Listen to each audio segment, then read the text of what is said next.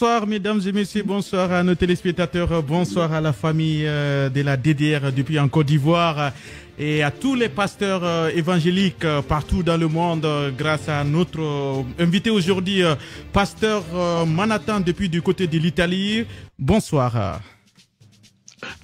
Bonsoir mon frère, monsieur le journaliste, mon frère, notre frère Mohamed de, de Amtro TV, les médias. Bonsoir. Ah, alors bonsoir à vous, euh, pasteur. Euh, merci d'avoir accepté euh, de, contribuer pour cet acte, l'acte qui s'est passé au Burkina. La DDR bloquée de rentrer au Burkina. Qu'est-ce qui se passe du côté de, du Burkina Faso? Pourquoi empêcher la DDR à, rencontrer ses fidèles au Burkina. Nous allons essayer de parler avec vous. Vous êtes pasteur évangélique, vous connaissez bien euh, ce livre, euh, la Torah, et vous avez même eu euh, à débattre avec la DDR. Alors, que pensez-vous de, ce groupe, la DDR Est-ce que la DDR mérite d'être bloquée, de rentrer dans un pays africain? Vous savez, c'est d'abord, nous rendons grâce à Dieu, Baruch Hashem, pour euh, euh, ce moment que Hachem nous a donné euh, pour partager sa parole qui, qui est les, les, écritures sacrées. Alors, et vous savez, les problèmes, hein, nous nous sommes pas contre ou les, les, les, les, explique, euh, euh, euh, cet rapatriement de la DDR au Burkina Faso. Mais nous déplorons plus le, le, comment, les motifs injustifiés de, cette expulsion. Voilà. Il, il, n'y a aucun motif. Bon, il dit, bon, vous êtes des personnes non, la DDR est, est non grata au Burkina Faso. Mais s'il n'y a pas de motif, c'est un peu ça c'est ça c'est ça qui nous inquiète. Parce que la DDR lorsque nous suivons la DDR aujourd'hui la DDR est est en train de transmettre est en train d'enseigner les mhm. écritures saintes. Les écritures saintes qui est euh, la, euh, le Coran, la Bible, tout ça, la Torah, ce sont des écritures saintes que nous écoutons euh, et nous voyons dans nos propres yeux comment euh, la DDR contribue aussi euh, à travers les écritures saintes. Ok. Alors, vous, vous, vous avez eu à débattre avec la DDR, vous avez suivi la plupart de leurs vidéos. Est-ce qu'il faut considérer la DDR comme un danger pour, pour la population? Mais la DDR, il met le, Coran, il met la Bible, ce sont des écritures sacrées, des écritures saintes. Alors que dans ces écritures, il est écrit, toute autorité vient de Dieu, selon toutes les écritures saintes. Donc, c'est-à-dire, nous devons respecter euh, les lois de nos pays. Alors, nous sommes les serviteurs de Dieu, ceux qui enseignent les Écritures saintes, sont les premiers à respecter les lois mhm. d'un pays. Alors, ils ont décidé d'expulser, il n'y a pas de problème, mais le problème, c'est pour quel motif? Parce que ces gens-là, ces gens-là transmettent l'amour, les Écritures saintes que nous vérifions tous. Oui. Dans la Bible, on écoute ce qu'il parle. Voilà. Donc s'il parlait d'autres choses, on peut dire, bon, euh, il parle d'autres choses qui ou incite des gens à la haine ou à ils la acceptent, rébellion. Ils, acceptent euh, avec... Euh, le problème est qu'ils acceptent même de débattre avec des pasteurs. Ils acceptent que les gens arrivent à les montrer si ils ont parfaitement raison ou pas. Mais on n'arrive pas à comprendre. le Burkina, ils avaient préparé le voyage ils ont, ils ont préparé, ils étaient, tout le monde était content de les accueillir au Burkina. Euh, mais pourquoi il n'y a pas eu euh, euh, lieu, en fait, pourquoi ils ne sont pas au Burkina? Je pense que pour la libre de circulation des pays de la CDAO, le Burkina n'a pas de motifs quand même. C'est pas des théoristes, c'est pas des personnes qui sont là juste, qui vont créer des difficultés ou des problèmes quand même. Oui, bien sûr, parce que l'air, euh, on fait des débats interreligieux qui se font aujourd'hui euh, dans le monde, le débat qui existe entre les chrétiens et les musulmans, ce sont des débats constructifs. Donc on fait là des débats à travers les écritures saintes sans toucher ou bien mettre en péril le, le, le, les constitutions de nos pays ou déranger les, les autorités et les, gouvernements. Donc on est tous là, des chrétiens, euh, en train de, de, de, débattre sur les écritures saintes, sacrées. Ouais. Donc qui ne dérange personne. Il y a mhm. des pasteurs je crois que des pasteurs qui sont là, même en, euh, au Congo, à, Burkina Faso, en Europe. En Europe, même au Guadeloupe, même partout dans le monde, ils ont accepté de débattre avec eux. Oui, allez-y, Partout, partout. Oui, partout, parce qu'on sait aujourd'hui que nous, les serviteurs de Dieu, nous sommes là aussi pour euh, travailler ensemble avec les autorités. Ouais. Or, les Écritures saintes sont là pour protéger les enfants et pour amener les gens à obéir à la loi, à construire ou à réparer mhm. euh, ces mondes. Tout à Nous, à travers les Écritures saintes et les autorités à travers des lois euh, qui, sont, euh, qui sont là selon la, les Écritures saintes, la Bible ou le Coran ou la Torah. Alors, les problèmes, bon, je ne sais pas si ils ont eu de, je ne sais pas pour quelles raisons. C'est la question que nous nous oui, mais posons pasteur, pasteur, vous, vous avez débattu avec eux, vous avez eu à changer euh, avec eux, mais est-ce que, c'est selon leurs propos, selon la façon dont ils, euh, euh, qu'ils font leur mission, et pour vous, est-ce que vous êtes convaincu ou pas? Alors, le débat là que qu'on fait ensemble avec euh, nos frères musulmans, euh, ensemble avec nos frères musulmans, euh, ce débat ne peut pas ne peut pas créer ou des, inquiétudes auprès des chrétiens ou auprès d'autres religions, euh, même chez le, le, le, dans la vie sociale, parce que ce mhm. sont des, des, débats clairs. Oui. Donc on est là, euh, on étudie les Écritures saintes. S'il y avait autre chose, on parlait de la politique ou, mhm. on est cité des gens, alors on, même les pasteurs, les Ce n'est même pas lié politiquement, pasteur. Ce n'est même pas lié. Je pense, je pense qu'il y a des individus aujourd'hui, parce que ce problème-là, il faudrait qu'on en parle beaucoup. Euh, en Afrique, nous sommes victimes souvent de, de ces problèmes. Et des gens peuvent vous bloquer parce qu'ils ont des relations, parce que euh, moi, moi, j'ai l'impression même que euh, le président n'est pas au courant même de ça, et ce n'est pas le pays même qui les bloque, parce que dans, dans, dans les normes quand même euh, la DDR n'est pas un danger quand même. Ils ne sont pas des dangers. Euh, c'est pas des gens qui, qui, qui sont euh, qu'on doit bloquer, mais plutôt on doit leur donner une possibilité, des, des conditions pour qu'ils puissent apprendre aussi, parce que ce qu'ils font, vous-même vous avez eu à avoir quelques vérifications de ce qu'ils disent selon le Coran. Et selon la, la Torah, vous avez confirmé même qu'il y a euh, parfois certaines de ces écritures qui sont qui parlent du même sens. Euh, c'est comme si euh, on apprend beaucoup d'eux. Alors, est-ce que, pour vous, est-ce que de voir comme ça qu'ils qui, sont plus parfois libres de circuler en Afrique, que pensez-vous de cette réaction du côté du, du Burkina?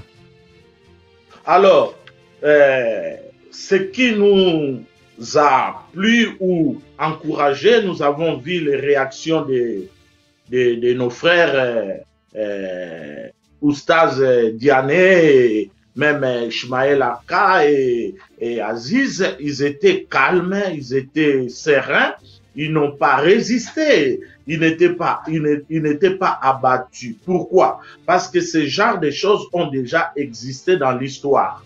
Donc, euh, dans l'histoire, on a vu aussi les apôtres, les gens qui faisaient, euh, qui allaient pour transmettre euh, la parole de Dieu, étaient aussi victimes par peut-être manque de, de, communication, des incompréhensions, mais que ce soit le Coran, la Bible, la Torah, parle de ces choses. Il nous dit, toutes choses concourent au bien de ceux qui aiment Dieu. Voilà. Donc, c'est-à-dire, il y a des choses que Dieu lui-même peut euh, euh, empêcher ou peut agir, ou Dieu peut transformer euh, certaines choses selon lui, parce que c'est lui qui est le maître des temps et des circonstances.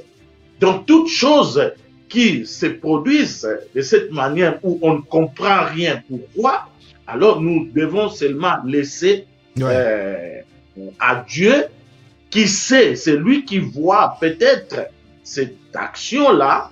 Il a aussi utilisé les autorités pour les biens euh, de, toutes, de toutes les nations, pour le bien de nous tous. Je dirais, je dirais tout à fait, euh, euh, pasteur, je dirais que franchement, que c'est de la méchanceté parce que c'est dawa de la DDR permet de, aux gens d'avoir des échanges de paroles. Euh, ça fait calmer, ça attire en fait le lien comme ce qu'on voit en Côte d'Ivoire aujourd'hui quand ils font la dawa sur la rue, dans les rues on voit les Ivoiriens de, de toutes euh, races et aussi de religions qui sont là. Tout le monde est là à accepter euh, euh, des explications. Les débats se passent dans les bonnes conditions.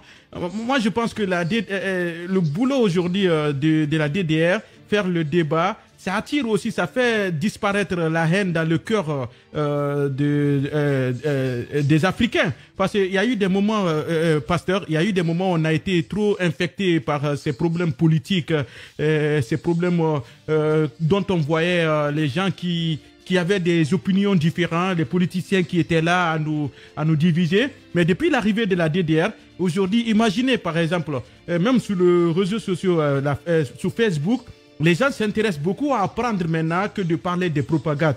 Alors, moi, je, je pense que euh, euh, euh, cette chose-là, cette interdiction-là, cette blocage-là, on doit beaucoup chercher à connaître d'où vient l'ordre.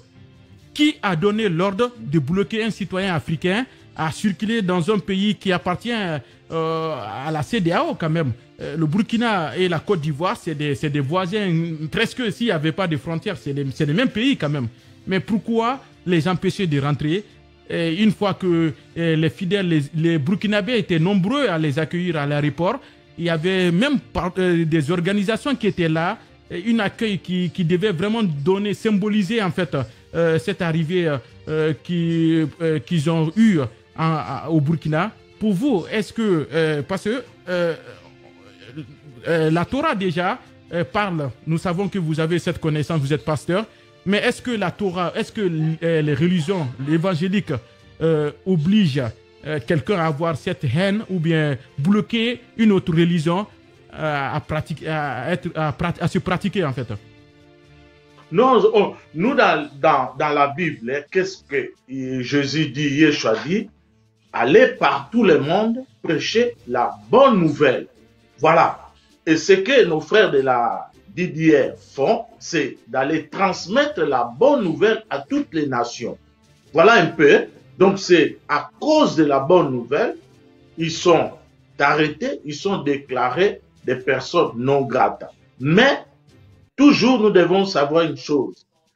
Cette bonne nouvelle, la parole qui, qui vient de l'écriture sainte, ce n'est pas le nôtre. Donc cette parole appartient à Dieu lui-même. Donc, c'est-à-dire, aujourd'hui, on peut bloquer, mais demain appartient à Dieu. Dieu sait peut-être, euh, euh, et aussi les autorités, peut-être, ils sont là à examiner pourquoi, pourquoi les choses se sont déroulées de cette manière. Et là, Hachem lui-même, qui va intervenir un jour, on ne sait pas ce qui va se passer. Mais est-il que les autorités, j'espère qu'ils sont compétentes, euh, aussi sont des humains, des hommes qui vont surtout, réfléchir? Surtout, surtout, quand même, euh, il faudrait des motifs quand même. Il faudrait des motifs à, à, à, nous expliquer euh, de cet euh, blocage quand même de la DDR au Burkina. Alors, pasteur, vous êtes vous êtes un croyant qui a eu à nous apprendre aussi, selon l'évangélique, la, la Torah. Alors, euh, nous voulons vous poser cette question parce que cette blocage, je pense que vous n'avez pas aimé. Vous avez eu à, à, vraiment vous exprimer parce que vous êtes, euh, euh, si ce n'est pas du côté du débat, vous êtes aussi un citoyen africain. Vous êtes euh, aujourd'hui euh, pour la vérité. Alors, vous avez toujours parlé de, de, ces modifications dans ces livres de Dieu. Mais nous constatons parfois qu'il y a certains individus, groupes, qui ont de l'influence jusqu'à aller saisir euh, les autorités d'un pays. Est-ce que ces, ces, ces actes, est-ce que ces, ces, actes sont vraiment crédibles? Est-ce que euh, ça a été dit par nos prophètes, par nos livres, qu'il faut arrêter ton frère quand il vient pour euh, partager des paroles avec vous Parce qu'on a vu, euh, Jésus, Jésus l'avait fait. Quand il est venu à Jérusalem, il a accepté d'être en face et de discuter. Alors, discute, ça, ça nous donne ça nous permet de, de connaître euh, en fait la différence ou si on est dans, les raisons, sur les raisons ou pas. Mais du fait qu'ils l'ont bloqué, est-ce que c'est vraiment normal en tant qu'un croyant? Alors, il y a eu des, des actes de, de cette manière, comme la Bible dit, il n'y a rien de nouveau sous le soleil. Donc l'histoire nous apprend. Et tout ce que nous vivons et tout ce que nous venons de parler, ça a déjà existé, mais il y a eu toujours des retournements. Des retournements, c'est-à-dire après, l'homme et aussi, l'homme a aussi une conscience. Donc, il a la connaissance de la conscience. Après un certain moment, la conscience de l'homme fonctionne. Et on a vu dans l'histoire, les gens ont agi de cette manière, mais après, on voit des retournements, des changements. Voilà ce que nous qui nous croyons à la, à la parole sainte. Je crois que euh, les paroles que nous nous, nous enseignons, c'est pour c'est ça appartient à lui à lui-même. Dieu Hachem pour le bien de toute l'humanité. Donc, comme Alors, ça que- appartient à Est-ce que, est-ce que, est-ce qu'il est interdit dans la Torah de ne pas accepter euh, un, euh, un conseil, des conseils d'un autre fidèle en fait, par exemple comme le débat, vous l'avez, vous avez accepté de le débattre avec la DDR, vous avez décidé d'échanger des paroles avec eux, mais est-ce que cela est interdit en tant que croyant? Mais non, non, la parole c'est quoi?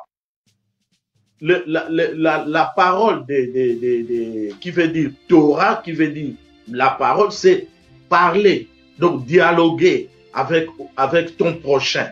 Lorsqu'il n'y a pas de dialogue, et c'est ça qui pose problème. Donc je ne connais, je ne connais pas l'autre, je dois imaginer, même si euh, l'autre il fait quelque chose, je suis là dans l'imagination parce qu'il n'y a pas de dialogue.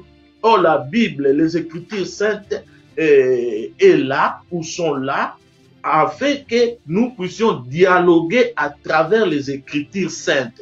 Tous les débats que nous faisons, ça fait partie de la parole de Dieu. Donc, la parole de Dieu, on ne connaît pas Dieu, mais Oui. nous étudions, nous connaissons Dieu lorsque nous parlons avec les prochains. Surtout lorsque Oui. nous discutons avec dans la parole, selon les Écritures saintes, on échange la- les connaissances des Écritures saintes.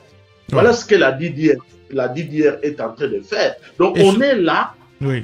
on ne touche pas la Constitution Mhm. ni le code pénal, mais il y a le, Coran, il y a la Bible et on avance on par fait, des on fait juste les, on fait juste les vérifications des écritures. Euh, moi, je trouve que c'est très important. Moi, moi, moi, j'accepte. Euh, euh, c'est ça la démocratie, pasteur. Mais ce qui fait mal aujourd'hui à ces fidèles, même nous, quand on a vu leur arrivée à l'aéroport, on était très contents. On était très contents de les voir à l'aéroport du, du Burkina. Et il y en a beaucoup de pays qui ont accepté qu'ils viennent, mais ils ont décidé de choisir le Burkina qui était leur voisin. Euh, le Burkina qui a une relation vraiment euh, très soudée avec euh, la Côte d'Ivoire. Mais, mais ce qui se passe en Afrique aujourd'hui, pasteur, parce que ce problème est très très important à parler, nos autorités doivent y penser. Il y a des gens qui peuvent avoir des influences au, sein de du gouvernement et qui utilisent ces, ces influences pour, pour, bloquer, par exemple, des actes ou des, des choses qui peuvent vraiment aider la population. Parce que nous, nous, on voit, moi je suis, pour la première fois que j'ai eu à prendre contact avec la DDR, je suivais souvent leur presse, mais comme une fois que j'ai su que euh, leurs propos n'est pas des propos qui vont diviser euh, la société, qui va créer des polémiques, mais plutôt qui va nous permettre de comparer les livres, la Torah, la Bible et le Coran. Alors moi j'ai eu à, les contacter. Vous-même en tant que pasteur, vous avez décidé de débattre avec eux. Pourquoi? Parce que vous êtes euh, convaincu qu'avec eux, vous pouvez avoir cette occasion d'échange des paroles, des livres. Alors, mais on ne sait pas on ne sait pas, il faudrait que le Burkina euh, nous, puisse nous dire qui, d'où vient cette ordre, d'où vient cette euh, interdiction, pourquoi la DDR, une fois à l'aéroport burkinabé, pourquoi ils, sont restés encore une heure à encore reprendre le même vol pour rentrer en Côte d'Ivoire? Pourquoi? Voilà. Voilà, on reste dans les questionnements. C'est ça aussi la Torah, c'est ça aussi la parole de Dieu. On reste dans les questionnements. Pourquoi? Parce que peut-être les autorités ont eu des informations. Ils sont là, ils vont vérifier parce que ce sont des gens euh, compétents. Ils vont vérifier les informations. Donc on les laisse le temps de vérifier. Un jour, mais, mais, mais, vous, pasteur, vous connaissez déjà la DDR, mais est-ce que la DDR, euh, c'est un groupe qui, euh, qui, qui, est, qui est en risque ou pas? Vous avez eu à échanger avec eux, vous avez débattu avec eux. Alors, mais tout le monde, hein, tous les gens dans le monde, mhm. tous les gens dans le monde, les chrétiens, les, serviteurs de Dieu, ils le suivent.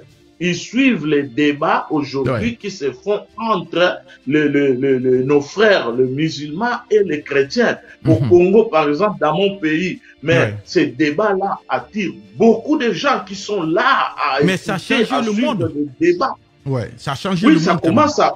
Ouais. Mais c'est ça, c'est ce que Dieu, Dieu est hmm. en train de, de parler de, de, l'unité des frères, de son prochain. Il faut, lorsqu'on est loin de quelqu'un, on ne connaît pas, donc ça fait peur.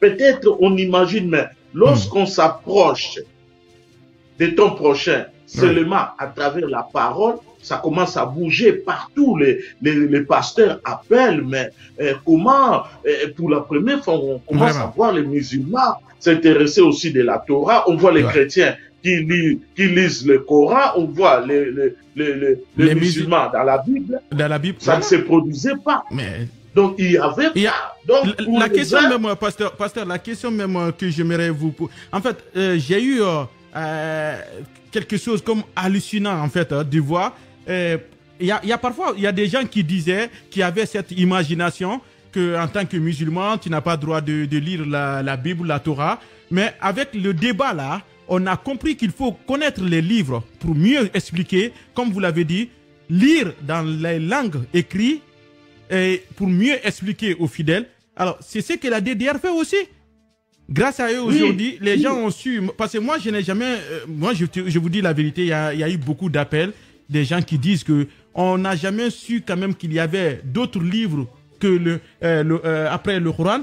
Il y en a d'autres qui disaient même, on ne pensait pas qu'il y avait les mêmes écritures dans ces deux livres. Alors, de fait de les bloquer, je pense que ce n'est pas normal. Le, Burkina a besoin de ça parce que le Burkina vit dans, dans, dans, dans, dans l'acte terrorisme. Il y a des attentats qui se passent. Mais une fois que peut-être que la DDR arrive à s'exprimer, à montrer que toutes les religions en fait sont des paroles de Dieu, il faut comprendre, il faut essayer de les lire comme il, a été écrit, il faut essayer de les traduire comme elle a été écrite. Moi, je pense que cela peut baisser cette haine que d'autres personnes ont entre leurs frères quand même. Euh, le, Burkina a besoin euh, de ces débats pour se rapprocher, pour, pour pouvoir vivre ensemble. L'exemple est là, la Côte d'Ivoire est là. La Côte d'Ivoire, depuis après les élections, il y avait eu des tensions, il y avait, il y avait plus euh, de ces personnes qui étaient là, les BT, les Djoula. Mais quand, quand, quand on voit la DDR, on ne voit pas que les Djoula, on ne voit pas que, que les BT. Regarde, par exemple, Ismaël Aka. Ismaël Aka n'est même pas de même ethnie que, euh, que Oussa Diané. Mais pourquoi il appelle Oussa Diané mon père euh, euh, adoptif? Parce qu'ils ont eu à, avoir les mêmes amours, les mêmes sentiments. Ça fait oublier cette haine. Moi, je pense que, pasteur, le boulot que vous faites avec et cette imagination que la DDR a mis en place aujourd'hui pour l'humanité, cela est allé au-delà même des frontières ivoiriennes. Aujourd'hui, même partout, Koweït, euh, euh, euh, partout dans le monde, tout le monde suit la DDR. Il y a des milliers d'appels qu'on reçoit une fois qu'on a invité, pour la première fois qu'on a invité la DDR. Il y a eu des appels, il y a eu des, félicitations. Mais pourquoi le, Burkina, en fait? C'est ce que j'arrive pas à comprendre. Comment peut-on bloquer une personne qui cherche vraiment à, unir le peuple, à, faire disparaître la haine dans le cœur des gens Comment peut-on empêcher ces gens à rentrer? Je pense que c'est pas l'ordre n'est pas euh, de l'État, mais je pense que c'est des gens qui ont des influences, qui jouent dans, euh, qui utilisent leur influence pour essayer de d'intimider d'autres personnes qui ont envie de faire du bon boulot. Mais est-ce que dans votre religion, pasteur, l'évangélique, pour ceux qui sont euh, dans cette religion au Burkina, est-ce que l'évangélique demande d'être, d'avoir cette haine envers son prochain? Mais non, mais non. Comme je dis toujours, euh, il y a ce qu'on appelle la perte passive. Voilà. Donc, peut-être, il y a d'autres aussi qui pensent, bon, nous sommes là, la, la,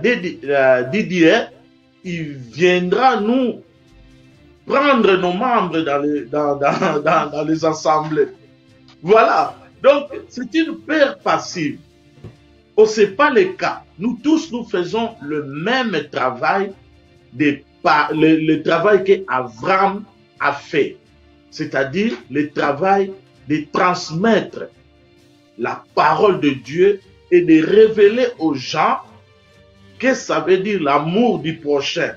Comment on peut vivre en, avec son prochain en respectant les différences ou euh, le, le, euh, les différences de, de, de, de, chacun. Comme tu as dit, Ishmaël Aka est de la, euh, n'est pas de la même tribu que euh, son père spirituel euh, Oustaz. Mais regarde comment la parole de Dieu, les Écritures a fait le miracle.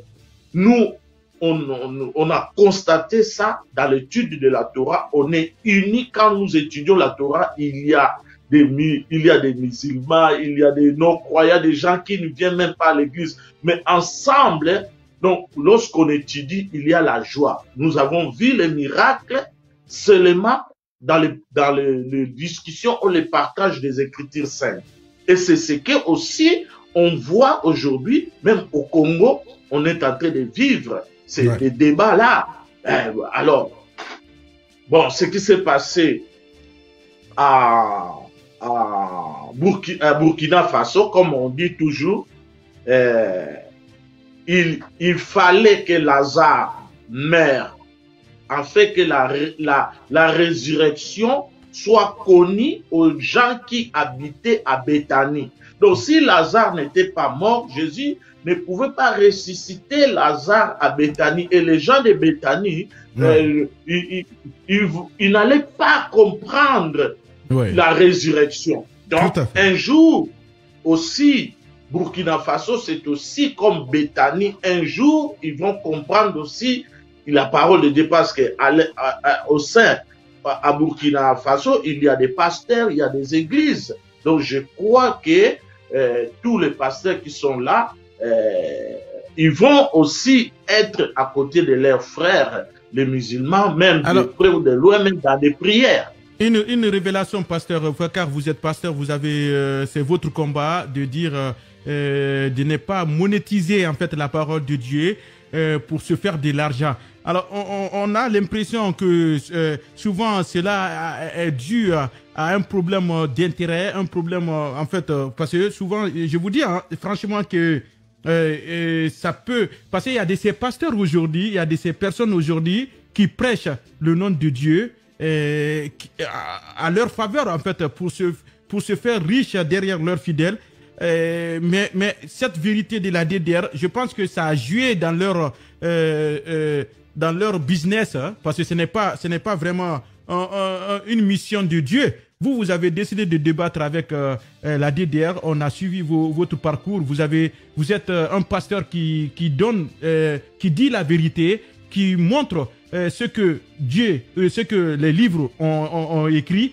Alors, euh, mais il y a certains, ce n'est pas ce qu'ils voient, mais ils, ils, cherchent en fait à avoir, parce que on, ressent ça même dans, dans, certaines de ces explications de ces pasteurs. Moi, moi-même qui vous parle, j'ai eu plusieurs menaces, plusieurs menaces, ça je vous dis la vérité. Euh, qui me disaient, des gens qui me disaient, arrête de faire ça, euh, la DDR, c'est comme ça, c'est comme ça. Mais pourquoi j'ai continué à faire euh, cette émission? Je, reçois des chrétiens, je reçois des évangéliques, je reçois la DDR, je reçois les politiciens, je reçois les activistes. Pourquoi? Parce qu'il faut qu'on vive dans cette liberté, dans cette fraternité. Il faut qu'on essaye d'accepter, de faire des échanges de paroles. C'est ce que la DDR fait. Vous, vous avez décidé aussi de nous accorder chaque dimanche euh, les émissions religieuses ici sur la chaîne pour, pour nous apprendre ce que la Torah dit. Mais oh, oh, c'est pas quelque chose qui, qu'il faut bloquer. Il faut donner cette occasion à ceux qui veulent nous apprendre. Moi, je dis que c'est, très bien, mais je pense que euh, les, les, euh, autorités de Burkina, quand même, grâce à cette émission, peut-être qu'ils peuvent voir euh, qu'est-ce qui s'est passé euh, sur le territoire burkinabéen? Parce que l'acte n'est pas n'est pas normal quand même, c'est pas c'est pas vérifiable quand même, ce n'est pas quelque chose euh, qu'on peut dire que c'est interdit. Ce n'est pas interdit. La Côte d'Ivoire, les, les médias ivoiriens ont fait ce geste. On sait que la Côte d'Ivoire n'est pas seulement que musulman, il y a beaucoup de religions. Mais ils ont eu à accepter que le peuple puisse changer des paroles avec, avec leurs frères mais pourquoi euh, que euh, seulement que le, Burkina qui, euh, qui, est, ami et qui a une relation très soudée avec la Côte d'Ivoire interdit un Ivoirien à rentrer sur le sol burkinabé? C'est ça que j'arrive pas à comprendre. Pourquoi cela est fait? Alors, vous savez, lorsque nous, nous regardons dans la Torah, Moïse, l'homme qui Hachem a donné, il s'est révélé à Moïse, il a donné la Torah à Moïse et au peuple d'Israël. Qu'est-ce qui se passe? Moïse a accepté le conseil de quelqu'un qui était éloigné, qui était loin, loin, loin de, de, de, euh, loin de sa communauté. C'était son beau-père Yitro, Jétro, est venu conseiller Moïse ce qu'il devait faire. Mais Moïse a accepté ses conseils et aujourd'hui, on, voit les résultats. C'est que nous devons avoir toujours l'espoir. Voilà, la, les, Écritures saintes nous donnent toujours à, avoir l'espoir qu'aujourd'hui, une chose peut euh, mal fonctionner aujourd'hui, mais le demain, le futur appartient à l'éternel. Parce que les Écritures saintes disent, euh, ce qui est caché au-dessus de nous, il y a des choses qui sont cachées et réservées seulement à Dieu. Et il y a des choses aussi qui, avec le temps, il doit se révéler et on peut aussi vivre, voir cette joie euh, entre les autorités ou les gens qui sont euh, au Burkina et euh, les, les, les, Ivoiriens. On l'a vu il n'y a pas longtemps, on vient d'assister, le monde entier vient d'assister avec les deux frères qui étaient comme des ennemis, disons des ennemis, Oui. les deux présidents, on a vu en train de s'embrasser comme des Oui. frères. Hein, c'est des, des frères. C'est des. Donc voilà. on peut pas se, Voilà. on peut pas se décourager. Vous, vous, vous, avez Alors, eu à débattre avec, avec la DDR, pasteur. euh, Vous avez eu à débattre avec eux. Vous avez changé les paroles. À la fin, vous vous êtes séparés dans ces souris. euh, Ils vous ont même dit euh, est-ce que vous allez devenir musulman après avoir. Vous avez. Le choix vous appartient aujourd'hui. Mais euh, l'acte, en fait, euh, qui, qui, qui- que nous évoquons aujourd'hui, pasteur, vous êtes un croyant euh, qui suit la voie de la vérité. Vous avez suivi. euh, leur euh, dawa, qu'on appelle la dawa, l'échange de paroles avec des fidèles. Alors, la dernière fois, je, pense que l'information qui nous a qui nous a été parvenue, l'invitation était vraiment légale. Et il y avait, c'était pas des invitations qui respectaient pas des normes, les normes. Et ils avaient, ils c'était légal quand même. ils ont eu à préparer le, euh, les visas, tout, tout, tout, tout, tout. Mais arrivé, ils n'ont jamais eu de l'interdiction, sauf, quand ils rentraient. Mais c'est ce que j'arrive pas à comprendre. Une fois que tu as eu l'autorisation, euh, l'invitation était vraiment dans euh, l'égalité. Et, et aussi, les gens qui ont préparé ont investi beaucoup d'argent, ils ont loué des hôtels, ils ont peut-être invité beaucoup de choses, qui, ils ont financé des, des fortunes pour, pour accueillir leurs frères africains. Alors, mais je pense que, je pense que euh, on aura aussi, euh, euh, si le temps nous permettra de votre côté depuis l'Italie, on aura à inviter la DDR pour nous expliquer pourquoi et pourquoi le Burkina a refusé qu'il rentre au Burkina. Parce qu'il ne faudrait pas qu'on accepte cette interdiction. Nous sommes tous des citoyens. La Côte d'Ivoire, je suis guinéen, je rentre en Côte d'Ivoire, vous êtes congolais, vous rentrez en Guinée. C'est comme ça on vit en Afrique, c'est comme ça euh, nous sommes fondés en Afrique quand même. Il faut pas que euh, euh, nos actes, nos, nos études, nos actes vraiment positifs pour l'humanité mm, se transforment à, des actes de haine quand même.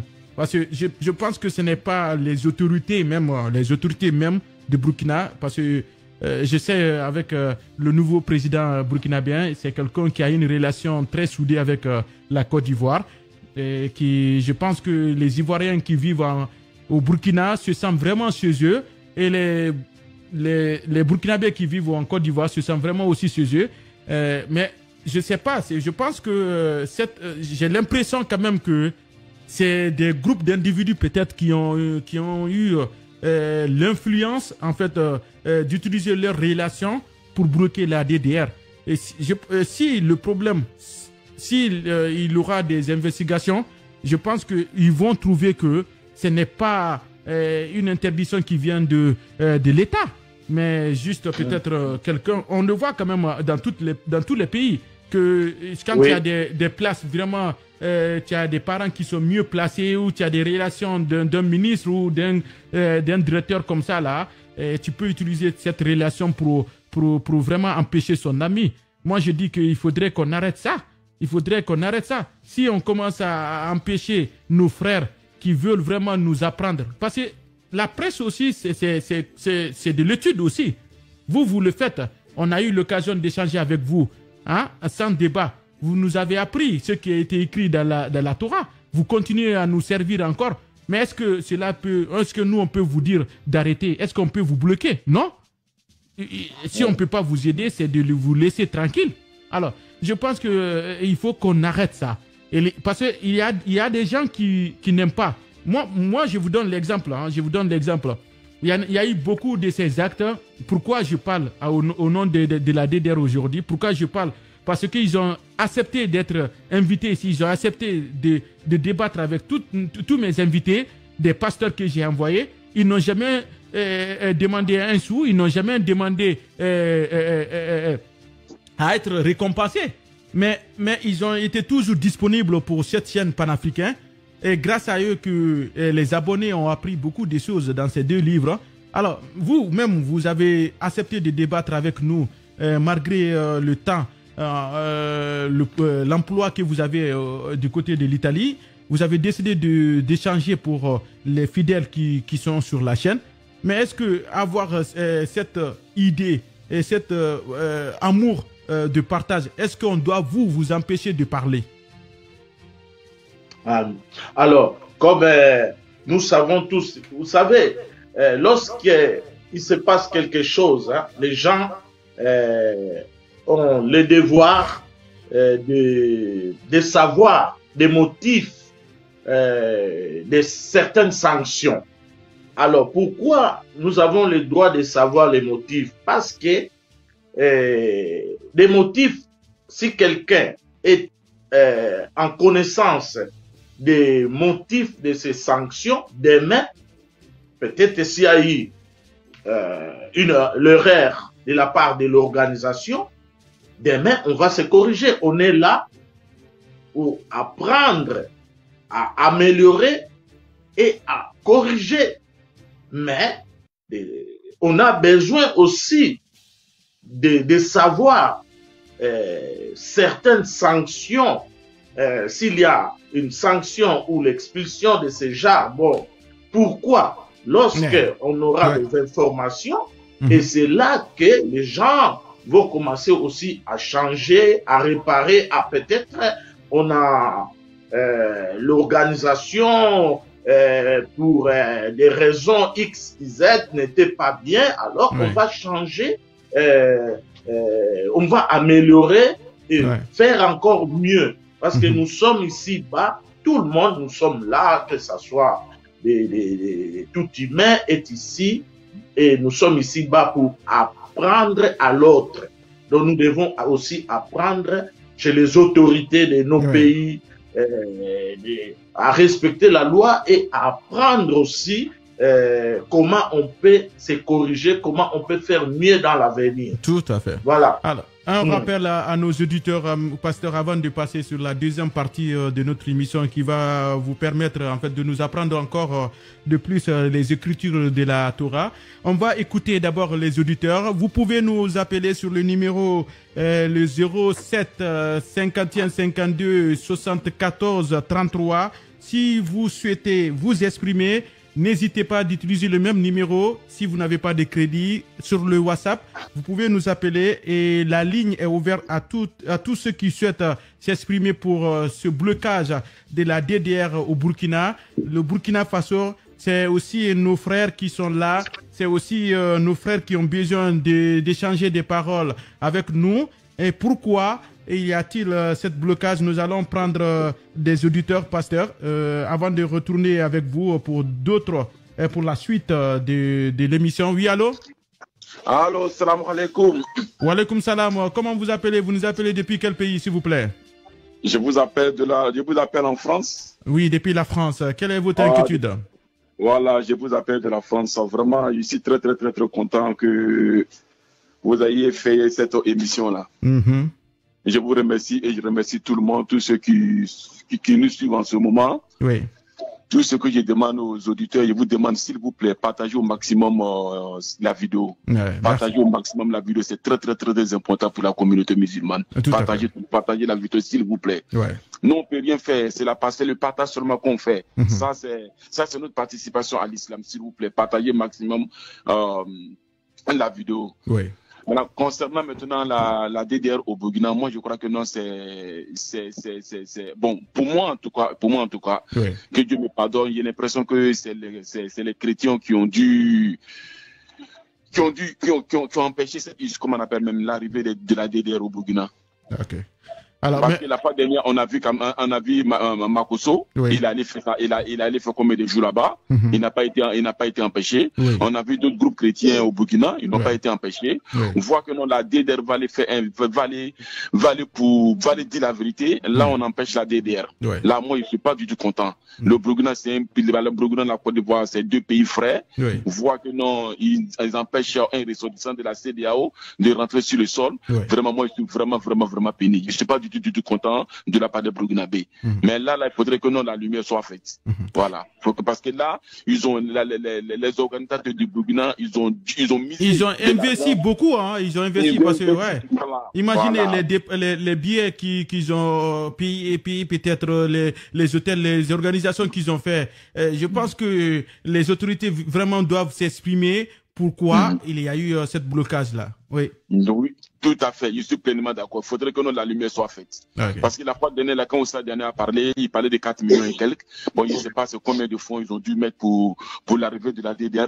Voilà. Donc, ils sont partis à 3. Je crois qu'ils à la réponse, ils ont fait un direct. Je crois qu'ils étaient à 3. Oui. Voilà. Mais vraiment, je ne suis pas du tout content. Parce que nous, on dit que non, le Burkina, c'est un pays intègre. Mais vu une situation comme ça, vraiment, c'est, déplorable pour, c'est Et surtout, surtout, surtout, un pays euh, de Thomas Sankara. Thomas Sankara qui a toujours lutté contre euh, ces négativités là à l'égard de nos euh, euh, de l'Afrique.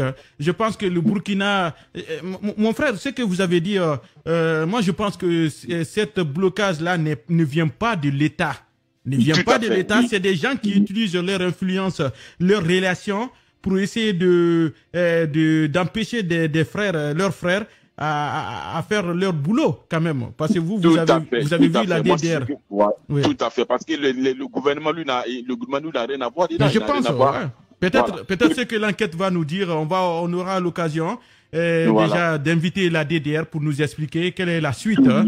Euh, mais la manière, excuse-moi, laisse-moi un peu de minutes. La manière je vois la DDR, ils ne pensent pas s'ils vont vouloir essayer de, d'aller trop loin, ils vont essayer de maquiller un peu la vérité, tu le vois. Mais même à l'aéroport, on a vu que vraiment, bon, ils n'ont pas trop, ils vont pas nous dire la vérité au fait. Ils vont vouloir cacher la vérité, mais ils vont pas nous dire la vérité. Tu sais comment ils demandent? Mhm. Ils demandent aux autorités euh, ivoiriennes, euh, les, les, les, représentants de la DDR qui se trouvent au Burkina de saisir l'ambassade de la Côte d'Ivoire pour que les gars puissent saisir la, comme on appelle même la, la les, les gens à l'aéroport pour qu'on nous, on nous situe la vérité. Moi, c'est ce que, ce que je vous demande. Vraiment. Donc, moi, je passe sur votre canal pour lancer cet appel-là. Ouais. Il demande à la DDR qui se trouve au Burkina, dès, dès lundi, de saisir, de saisir l'ambassade la, la, de la Côte d'Ivoire qui se trouve au Burkina, pour que les gars puissent mettre la pression sur, sur celui qui a fait, sur celui qui a fait ce coup à chose, comment dirais-je, à l'aéroport. Ouais. Je suis pas du tout, du tout content. Je suis pas content.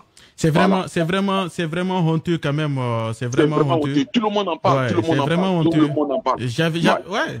Moi, moi, moi, moi, la dernière con, euh, conversation que j'ai eue avec la DDR, euh, euh, c'était, euh, il, il, restait quelques heures même. Ils étaient à l'aéroport avant de Tout bouger. Ils m'ont dit, ben, écoute, euh, nous arrivons à, à, au Burkina pour rencontrer nos fidèles, nos frères burkinabéens. J'étais très content. Je me suis dit que, ben, écoute, ça peut faire une tendance en Afrique. Ça peut baisser euh, ces, ces, propos de ces propos haineux qui, qui, qui existent aujourd'hui. Euh, la DDR a fait beaucoup de choses dans l'humanité aujourd'hui africaine. Ils fait, ont oui. eu à baisser en fait les tensions. Ils ont eu à montrer que nous sommes tous des frères et on fait. peut échanger des paroles. Mais franchement, c'est c'est vraiment honteux. Monsieur, on va Oui. on va on va essayer de euh, de reprendre d'autres auditeurs pour donner. Excuse-moi, excuse-moi, deux, deux secondes s'il vous plaît, deux Oui, secondes. allez-y. Moi, je tenais aussi à m'adresser un peu au groupe des, des, des, des prédicateurs. Oui. Les prédicateurs qui sont tout, qui sont partout dans le monde. Je vous demande, soutenez-vous les uns les autres. Ouais. Parce que moi, j'ai vu les groupes de, de prédication, les groupes de prédication ivoiriens, il y a personne qui a pu faire un poste. Je ne sais pas si vous avez fait la remarque. Mhm. Personne n'a pu faire un poste pour pouvoir soutenir la DDR. Mais ça, c'est pas du tout gentil. C'est pas gentil. C'est pas gentil. Nous sommes, c'est l'islam. L'islam, c'est pour tout le monde. S'il vous plaît, essayons de nous soutenir les uns les autres. Oui, Il j'ai l'impression que j'ai l'impression que euh, euh, notre frère euh, général Makoso, il a il a eu à parler de ça. Exactement. Il a fait, il non, général, général, mer- merci beaucoup à toi, franchement. Voilà. Il fait, c'est quelqu'un qui, Général- est, qui a un cœur. Oui, Général Ouais. Vraiment, il a fait un direct hier. Voilà. Mais il n'y a pas un groupe, je ne sais pas si vous avez fait la remarque, il n'y a pas un groupe prédicateur ivoirien qui a pu dénoncer cette histoire-là. Non. Vraiment. Tout à l'heure, j'ai vu la vidéo de, comment on appelle même, de Mokhtar, qui a fait une, qui a fait une vidéo. Moi, je demande à tous les prédicateurs qui se battent pour la cause de l'islam. Unissons-nous, s'il vous plaît. Ne, ne faites pas à cause de l'argent. Unissons-nous. Nous sommes tous, nous sommes, nous allons tous mourir comme il n'y a rien. Ouais. Je vous demande pardon. Unissons-nous les uns les autres. Merci beaucoup. Merci, monsieur. Merci beaucoup, Amtro TV. Que Dieu te bénisse. Que Dieu te bénisse. Que Dieu te bénisse. Merci. Merci beaucoup Je à vous toi. demande à tous, partagez la vidéo. Je vous demande pardon. Ouais. Partagez, partagez la vidéo. Merci beaucoup. Au revoir. Merci beaucoup à vous. euh, merci euh, beaucoup, pasteur. Pasteur, vous avez écouté tout à l'heure cet auditeur. euh, vous avez vu, euh, ça touche euh, partout dans le monde. hein, ça touche les Africains aujourd'hui qui voient ce refus de la DDR de, de, de pénétrer le sol burkinabéen. Euh, vous, vous avez décidé aussi. Merci beaucoup quand même.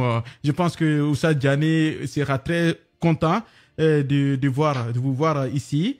à, parler en tant que pasteur de, de, cette religion évangélique, mais vous avez eu cet amour parce que c'est votre frère africain, votre frère à qui on va prendre les auditeurs avant de revenir sur vous, pasteur, car on aura plus de temps pour vous de nous apprendre ce que la Torah nous dit dans tous ces problèmes qu'on voit en Afrique. Oui, allô? Oui, allô, bonsoir, monsieur. Oui, bonsoir. Comment vous appelez Vous nous appelez depuis quel pays, s'il vous plaît? Oui, je suis Keta Bouakar, je vous appelle depuis l'Italie. Keta Bouakar, depuis l'Italie. oui, que souhaitez-vous nous dire, Keta Bouakar Vous avez l'antenne. Oui, voilà, je n'ai pas, pas question à poser. C'est à propos de la DDR au Burkina. Mhm. Allez-y, vous avez l'antenne. Voilà. Voilà, exactement. Euh, ce que j'ai à dire à la DDR euh, et des autres euh, Dawaman, mhm. ceux qui font le Dawa, le, cas, le cas qui est passé encore au Burkina Faso, moi je considère ça comme la victoire totale. Celui qui a fait, celui qui a fait ce acte-là, moi je lui félicite et puis je suis content de lui encore. C'est qu'il a montré la grandeur de, la, de, l'islam comme ça et surtout la grandeur de la DDR. Mhm.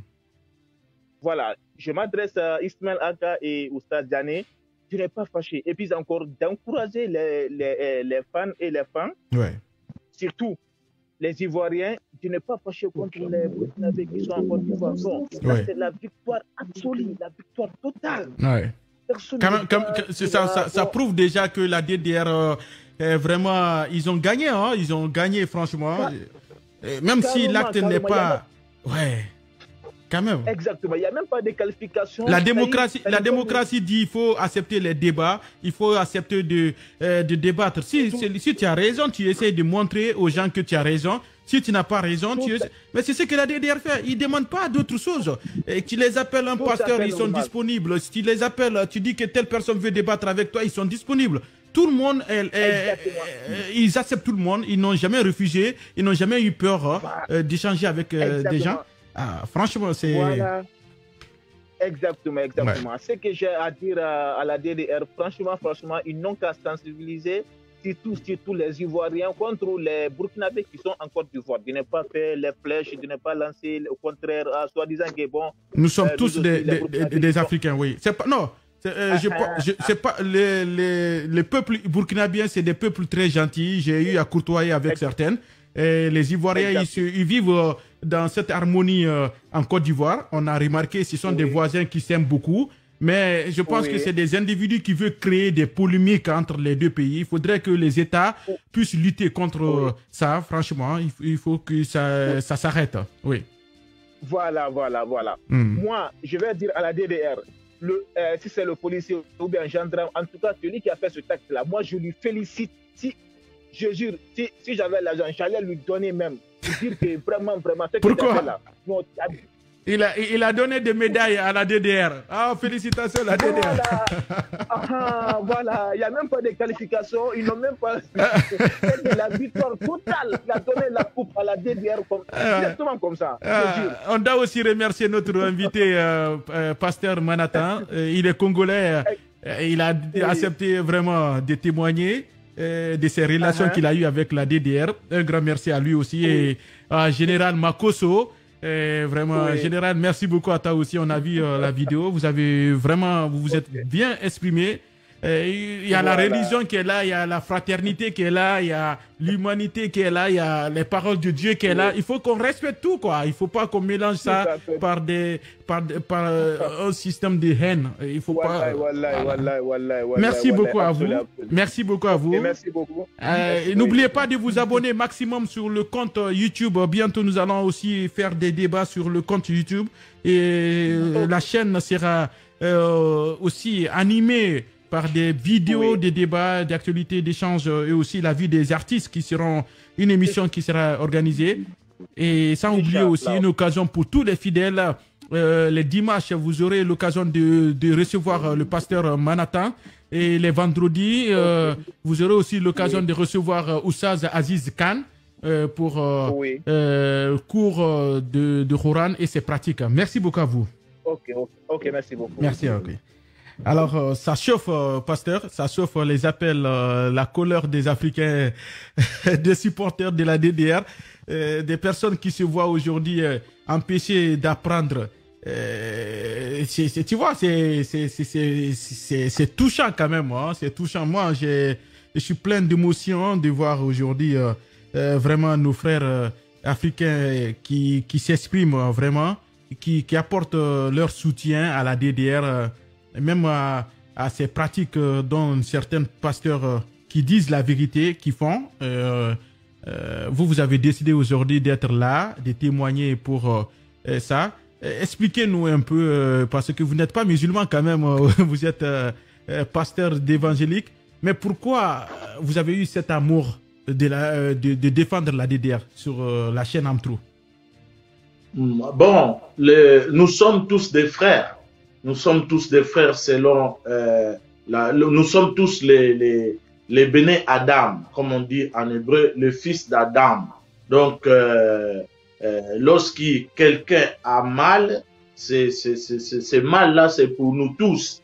Alors, nous, dans, même dans, dans les églises évangéliques, les pasteurs, lorsqu'il y a un problème de ce genre, on est là toujours à soutenir de près ou de loin dans des prières, même des prières, si toutes les prières euh, sont très efficaces. Voilà. Donc, euh, ce n'est pas que les pasteurs sont endormis ou d'autres frères sont endormis. Non, on est là, chacun contribue selon sa manière. On prie pour les autorités de nos pays, on prie pour les autorités à, euh, au Burkina Faso, partout. Donc, euh, c'est ça que la, la, la, la, la, la, parole de Dieu nous demande. Priez pour les autorités de vos pays. Voilà. Donc, c'est la, la, la force parce que demain, on mhm. peut être tous dans la joie avec les autorités. Et puis, euh, voilà. Alors, on va prendre cet auditeur. Oui, allô? Allô? Allô? Oui, bonsoir. Comment vous appelez? Vous nous appelez depuis quel pays, s'il vous plaît? Euh, Je m'appelle Ali, je, euh, je suis comorien, mais actuellement, je suis, je suis à, au Rwanda. Ok. Alors, euh, quelle est votre inquiétude, monsieur Ali?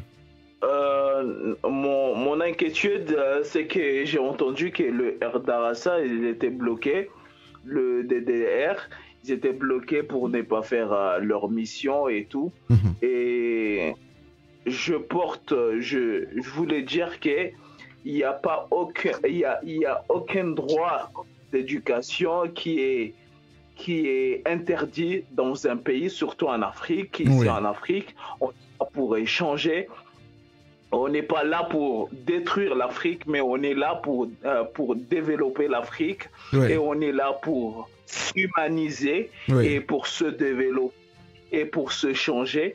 Donc, euh, quand j'ai entendu qu'il y a eu un petit, euh, un petit souci sur, euh, sur nos, nos, chers camarades qui nous donnent, qui nous enseignent, qui, que nous nous connaissons, que même si on est loin, mhm. mais quand même on les suit sur Internet, on voit ce, ce qu'ils disent et tout. Donc, ça nous a choqué en tant qu'Africains que on, on, se déshumanise nous-mêmes, on se, on, se contradit nous-mêmes et pourtant c'est une éducation. avant de, avant de bloquer quelqu'un, c'est une éducation dont on veut changer. Si vous, si prenez pas pour une éducation, prenez pas, prenez pour euh, comme, euh, comme si on est des humains ou bien on est de, de la même couleur ou bien on est venu pour euh, connaître les uns pour les autres. Donc, euh, je vois pas le, je vois pas, je vois pas le, problème de interdire le DDR de, de échanger avec, euh, avec, avec les autres. Donc, c'est ce que je voulais dire. Alors, vous, vous êtes comorien, vous, êtes, euh, vous avez suivi leur euh, mission et leur débat. Qu'est-ce que vous avez pu tirer euh, comme leçon dans leur presse qu'ils font sur leur page? En fait, moi, je les suis leur débat dont il fait, il fait tout le temps. Donc, ce qu'ils ce qu'ils font, c'est un échange. Soit vous comprenez cet échange, soit vous de laisser cet échange. C'est pour vous, euh, le, euh, selon cette communauté ou bien selon ce mouvement, c'est pour, c'est pour faire, pour sortir les, les gens dans l'ignorance et de vous, de, de, vous montrer la vérité. Mhm. Et on vous, ils vous forcent pas de, de, de, reconnaître la vérité, mais au moins ils disent ce qui doit être dit. Donc euh, je donc je vois pas, je vois pas.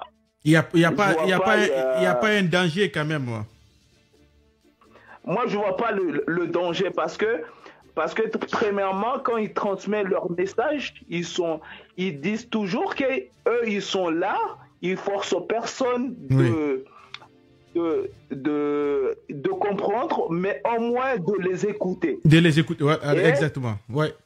Oui, tout à fait. Ouais. Voilà. Donc, c'est, c'est, c'est, c'est une dialogue euh, qui, qui mène, à, qui mène à, à collaborer parce que c'est le, le non-violence, c'est différent des autres débats. Parce qu'on voit, on voit toujours les autres débats, ils finissent par, par les bagarres, par les embrouilles. Et pourtant, ceci, il finit, pas, il finit pas par les embrouilles. Mhm. S'il y a des embrouilles, il laisse passer le, autre, autre personne ou bien autre message. Ouais. Alors, euh, est-ce que vous, euh, vous arrivez à accepter que euh, avec toutes les missions qu'ils sont en train de faire pour l'humanité, pour euh, euh les gens de comprendre les livres et aussi, je pense que leur message est parti du côté de, votre pays. Vous êtes nombreux même à, les contacter, à suivre leurs débats. Je pense que il est important pour vous aussi que que que personne ne puissent les empêcher de, d'exercer leur, euh, leur mission euh, pour l'humanité. Oui, oui, exactement, comme vous l'avez dit et comme vous l'avez mentionné là, personne n'est empêché de... personne ne doit pas être empêché de, de s'exprimer. Parce que on est, le monde des esclavages est déjà fini. Mhm. Maintenant, on est dans un monde droit on a droit de s'exprimer. Il n'y a pas. Il n'y a, pas, il y a, il y a pas un seul, un seul pays dans le monde qui doit, qui doit arrêter les autres pour s'exprimer. On doit s'exprimer. Sinon, on ne va pas y avancer dans la vie. Ok. C'est pas forcément tu m'écoutes. Oui. Tout à fait. C'est pas forcément tu me comprends, mais au moins tu peux m'écouter. Ce que j'ai à dire. Ok. Alors, on vous remercie euh, énormément pour votre appel et on vous invite euh, de, de, de, de, de partager maximum pour euh, les soutenir, pour vraiment contribuer vraiment à, à, à, répondre à ceux qui cherchent vraiment à, les faire taire, à les empêcher de, de pénétrer les pays de leurs fidèles ou de leurs frères partout dans le monde. Et nous les disons que la DDR n'est pas un groupe très n'est pas un groupe dangereux, c'est juste euh, un groupe qui essaye euh, d'échanger avec euh, les, les, autres fidèles pour des sur des livres, des paroles de Dieu. Merci beaucoup pour votre appel. Merci à vous. Ok, merci. Pasteur, pasteur, euh, on n'arrête pas. On va essayer juste de reprendre quelques appels avant de vous donner cette occasion pour nous apprendre aussi euh, avec euh, le reste du temps qu'on aura.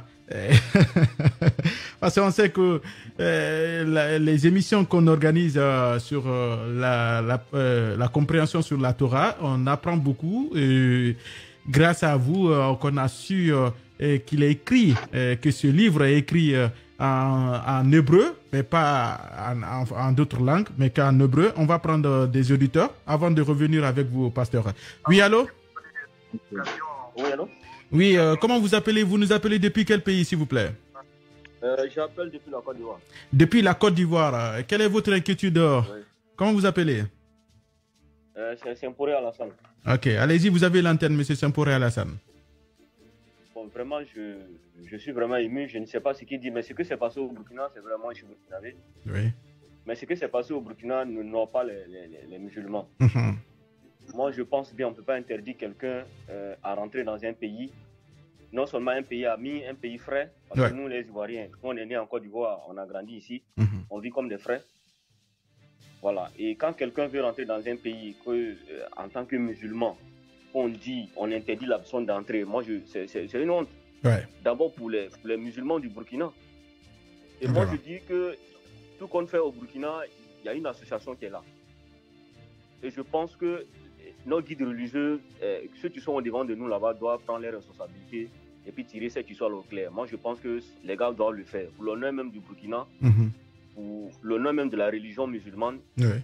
Les gars, ils ont, ils ont vraiment agi d'un cœur, d'un cœur. Vraiment, moi, je suis ému. Je ne sais même pas ce qu'il dit. Parce que la vidéo qu'Ismaël a fait à l'aéroport, ils n'ont même pas insulté quelqu'un. Ils n'ont pas indexé une personne. Ils n'ont même pas dit le nom de la personne, celui qui, celui qui, les a interdit. De, celui-même qui les a dit que non, on vous dit, on vous interdit de ne pas rentrer. Quand quelqu'un frappe la porte, quand, quand vous frappez la porte de quelqu'un, pardon, et que la personne qui n'est pas entrée, qu'est-ce que vous faites? Vous n'avez pas dit le nom de la personne. Ouais. Cela veut dire qu'ils ont, ils ont, ils ont vraiment agi avec une grande sagesse. Ouais. Ils ont vraiment montré aux yeux du monde entier que la, la religion musulmane est une religion pas comme les autres.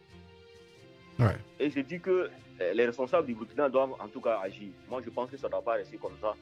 Les gars doivent repartir, ils doivent agir et pour que ces gens de trucs ne puissent plus jamais se répéter au Burkina. Oui, tout à fait. C'est tout ce que j'avais à dire et je vous souhaite vraiment, euh, vraiment longue vie dans ce que vous faites. Que Dieu vous mette la baraka dans tout ce que vous faites. Et votre émission, moi je la suis, euh, ça fait un bon moment. Et je vous encourage dans ce que vous faites. Alors, merci beaucoup. Merci beaucoup à vous et merci de nous avoir appelés et euh, merci pour cet appel. On va continuer avec euh, les appelants. Euh, il nous reste deux appels à prendre avant de donner le temps à notre invité. Alors, pasteur, on va d'abord vous écouter. que pensez-vous quand vous écoutez les gens qui, qui sont vraiment touchés de cette interdiction, de ce blocage euh, d'un pays frère à la voisin aussi fraternel à cette, à, cette Côte d'Ivoire? Alors, quelle est votre émotion, pasteur? Alors, nous, en tant que serviteurs de Dieu, nous sommes là pour apaiser les esprits.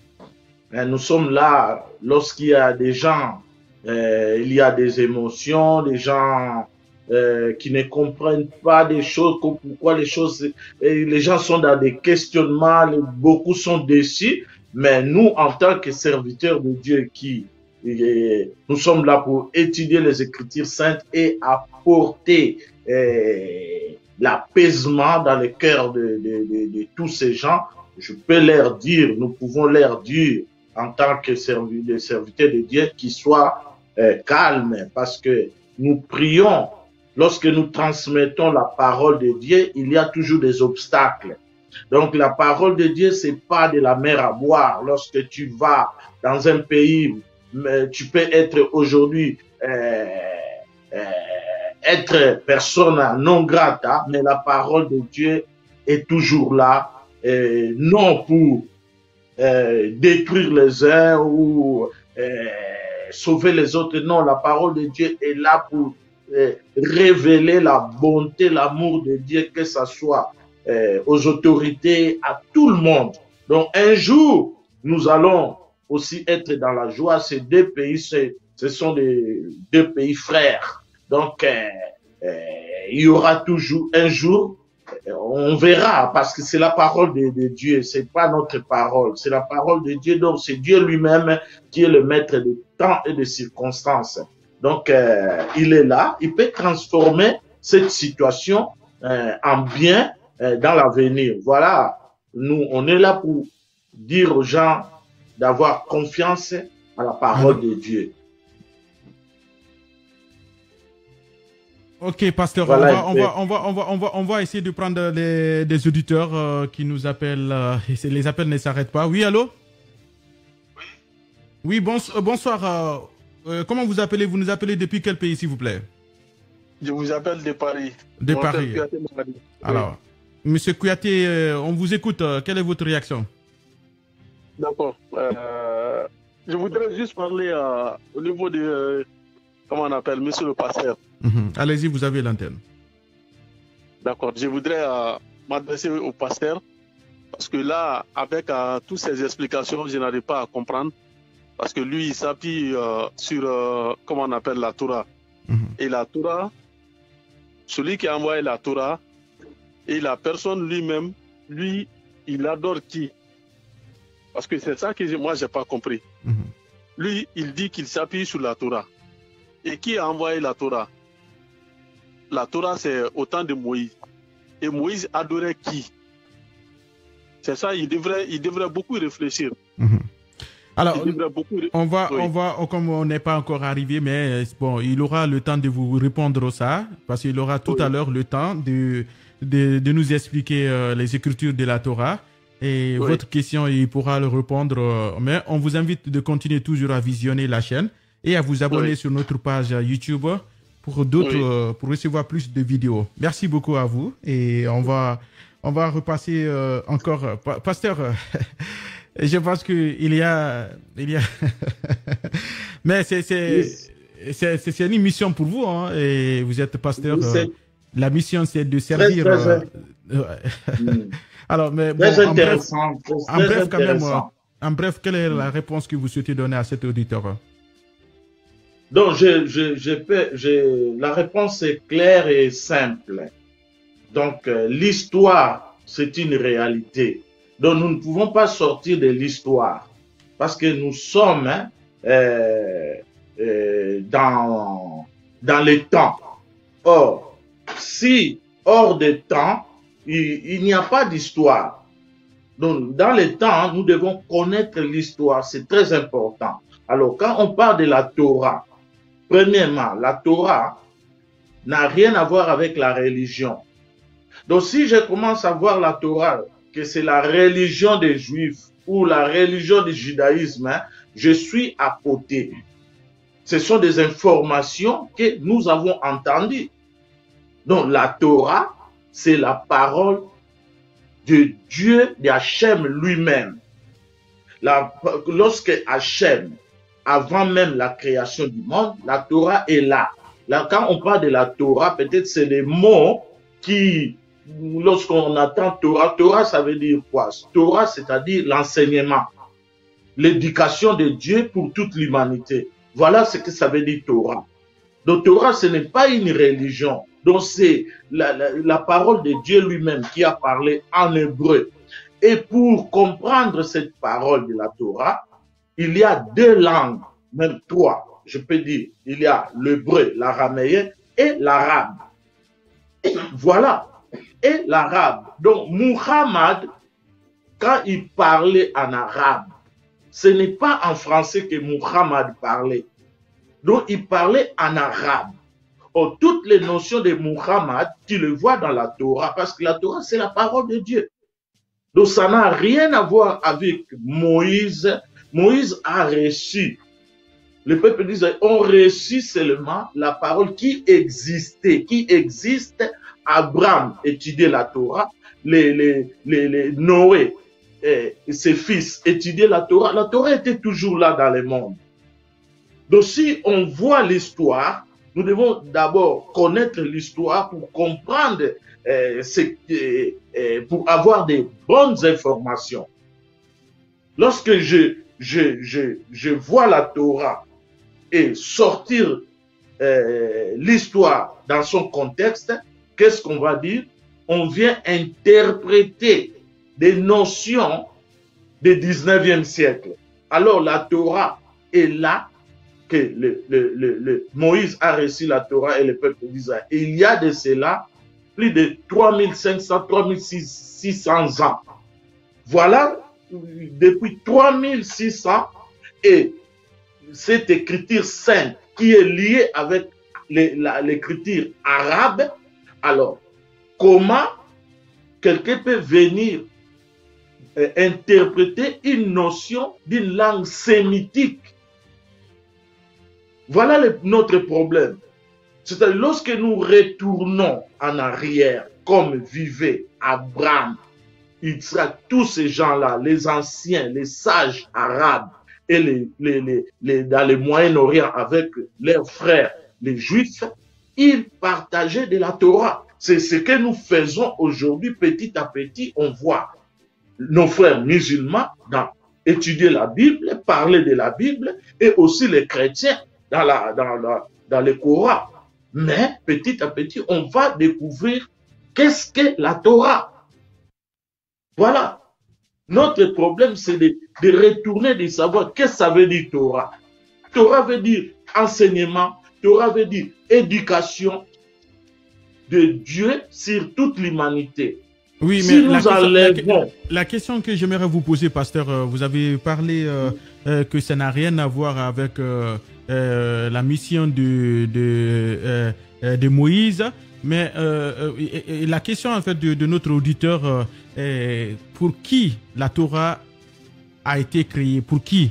Est-ce que ça a été créé pour l'humanité ou bien ça a été créé pour, comme ce que nos frères chrétiens disent, souvent euh, euh, la Bible, la parole de euh, Jésus en, tant que fils de Dieu, en tant que Dieu.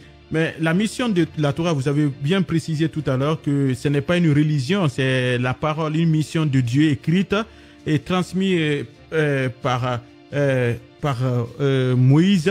Alors, est-ce que qu'est-ce que devons-nous connaître de ce livre qui est la Torah aujourd'hui? Euh, est-ce que c'est un livre euh, qui traduit euh, en fait une mission d'un prophète ou bien et qui traduit seulement que la parole de Dieu? Alors, comme j'ai dit, qu'est-ce que la, Bible tout, le monde sait, même quelqu'un qui ne peut pas, c'est Dieu qui créa, il a créé le monde à travers sa parole.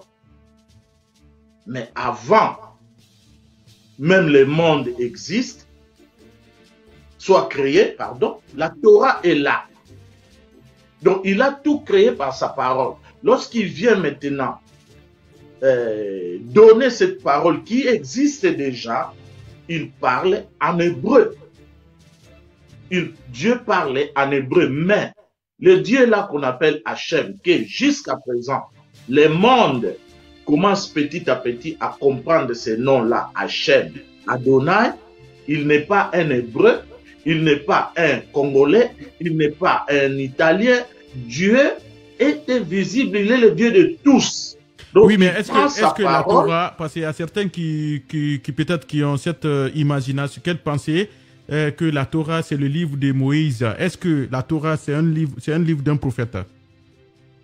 La Torah, c'est pour Monsieur euh, Mohammed et toute sa famille. La Torah, c'est pour le pasteur Manhattan. La Torah, pour tout être humain sur terre. Parce que c'est le mode de vie, le mode que l'homme, les anciens, même les anciens arabes, marchaient selon la pensée de la Torah. Parce que nous, la raison pour laquelle je donne toujours conseil aux musulmans, lisez essayez de, lire le, Coran en, en arabe.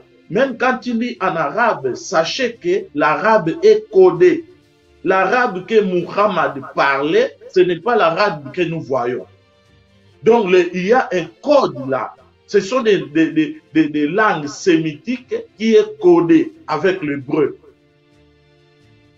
Nous lisons en français, ça mais nous devons retourner à écouter les sages, les sages qu'on appelle eh, des sages arabes et les sages d'Israël qui vivaient ensemble en, partageant la, les écritures saintes. Et ils s'échangeaient. Quels sont les secrets, pasteur? Quels sont les secrets de, de, de, euh, de la Torah? Quels sont les secrets pour nous qui n'ont jamais eu la chance à apprendre, à connaître les Écritures? Euh, Quels sont les secrets qui peuvent fasciner aujourd'hui les fidèles? Euh, à mieux s'adopter à ce livre Bon, dire c'est les secrets, tu sais, beaucoup quand ils entendent des secrets, quand quelqu'un entend des secrets, ils entrent dans des imaginations, dans un monde spirituel, et on veut, nous voulons compliquer des choses. La Torah veut dire enseignement, c'est-à-dire Israël, même avant Abraham, Israël a reçu la Torah pour étudier. Voilà, le secret, c'est l'étude. Quelqu'un qui veut connaître il, il doit étudier. Si tu veux être euh, un médecin, ce n'est pas en lisant un livre ou l'encyclopédie médicale ou dans les Google que tu peux devenir un médecin. Mhm. Ça ne se fait pas. Ça, ce sont des, des, des, livres qui nous aident. Mais si je veux devenir un pilote, je dois étudier. Si je veux comprendre la Torah, la Torah se passe seulement à travers l'étude, parce que ce nom la Torah veut dire enseigner. Mhm. Or, quand on parle de l'enseignant, un enseignant, il n'est pas seul, il est avec un étudiant. Donc, mhm. nous, moi, je suis un étudiant. Nous sommes des étudiants. Tout le monde est étudiant avant d'être enseignant. On commence d'abord Est-ce que, est-ce que, euh, la question qu'on souhaiterait vous poser, parce qu'il y a eu euh, ces polémiques euh, que certains disent qu'il y a eu les transformations des livres, la Bible. Mais est-ce que vous, vous avez cette certitude que aujourd'hui la Torah qui a été écrite, les paroles qui ont été dites par Dieu, elles, ce sont les mêmes paroles qu'on peut retrouver aujourd'hui dans les, dans, les, dans les livres de la Torah qu'on retrouve dans les marchés? Écoute, lorsque les frères Aziz, Oustaz Aziz, a démontré, je ne sais pas, j'ai regardé hein, l'émission que tu as, vous avez fait avec euh, le, le, Aziz Oustaz. Il a parlé euh, du Coran dans la dimension scientifique, dans toutes les choses. Mais tout ce qu'il disait là, ça existe dans la Torah. Donc, c'est-à-dire, la Torah euh, englobe tout. Personne ne peut falsifier la langue hébraïque ni l'arabe de la Torah. Je répète, personne ne peut falsifier ces langues. L'hébreu. Oui, mais on a, on a parfois, on a parfois l'impression que certaines, parce que quand vous vous expliquez euh, les, les, paroles qui sont écrites dans la Torah, et peut-être on peut avoir euh, cette, euh, euh, divergence hein, avec un autre pasteur peut-être qui est en train de parler de l'autre côté. cela donne quelques inquiétudes qui, qui, nous posent beaucoup de questions. Pourquoi il n'y a pas les mêmes expressions, les mêmes conjugaisons, les mêmes orthographes avec les autres pasteurs? Pourquoi il y a toujours une différence d'expression avec les pasteurs? Alors, pour nous qui ne ah. sommes pas euh, euh, évangéliques, euh, pour nous qui ne sommes pas les, les vraiment les lecteurs de la Torah, et que devons-nous apprendre avec vous sur, les, sur les écritures de la Torah? Alors, par exemple, derrière moi, tu vois, c'est écrit la Torah. En hébreu, voilà. Ça, c'est la lettre tête Vav, Resh, He. Ça, c'est la translittération, Torah, qui n'a rien à voir avec l'écriture originelle. Donc, tu peux pas parler de la Torah ici. Le, le code de la Torah est dans ces lettres hébraïques. Alors, tu ne connais pas ces lettres, même en arabe. Si tu ne sais pas ces lettres, comment tu peux falsifier? Beaucoup de gens que je donne conseil commencent à comprendre. Mhm. Quand ils écoutent une parole en hébreu, ils viennent, ils disent, bon, c'est la Torah. Alors, mais, non, ça n'a oui, rien mais à voir. Que dit, que dit la Torah pour l'enseignement aux fidèles? Que dit Qu'est-ce qu'il nous dit la Torah? Pour? Pour l'enseignement. Est-ce que la Torah demande de, euh, de, de, de, en fait, euh, de, de, la divinité euh, d'un prophète ou bien, ou, ou bien c'est la Torah nous explique tout simplement l'existence et la mission de Dieu Alors, la Torah, la Torah est là pour révéler au monde le Dieu invisible. Ce Dieu-là, invisible, qui est présent. Ah, si je il montre, il montre la certitude de la divinité de Dieu euh, comme ce que le, le, le, le euh, montre aussi la certitude de, la divinité de Dieu et aussi, euh, et, aussi la soumission à, à, à, Dieu, à l'islam. Alors, nous, Alors parce, parce, Oui, quelle est la différence aujourd'hui que nous pouvons apprendre avec vous aujourd'hui en tant que pasteur de cette mission qui a, de Moïse? Ou de, de cette livre, la Torah, parce que nous voulons juste savoir quels ont été les, motifs même de, de, de, ces paroles, quels sont les, les, les, essentiels en fait de, de, de ces écritures, de la mission même de la Torah sur, la, sur la mission de Dieu? Alors, c'est de révéler au monde le Dieu un, Echad, unique, un seul, pardon, le Dieu un. Comme ça a été depuis le commencement. Adam connaissait le Dieu un. L'humanité, avant, avant même l'humanité euh, qui était là, les gens qui étaient là, après Adam, connaissait le Dieu un. Il, n'avait pas de problème de, de, de, de l'idolâtrie. Il savait qu'il y a un Dieu un. Mais ce Dieu-là est caché. Ce Dieu-là, il, il, se révèle C'est un Dieu qu'on ne voit pas. C'est un Dieu comme ce que les musulmans On ne le voit pas. Voilà. Ah, ben, oui, on ne le voit pas. Voilà, ça c'est très, Mais quelle, Était oui. quelle était l'erreur? Mhm. Lorsque les gens ont dit, mais ce Dieu-là, on voit seulement la puissance par le nom-là, Elohim, Allah, on voit la puissance de ce mhm. nom-là, c'est la tribu divine. Mais lui, on ne le voit pas. Mais qu'est-ce qu'on va faire?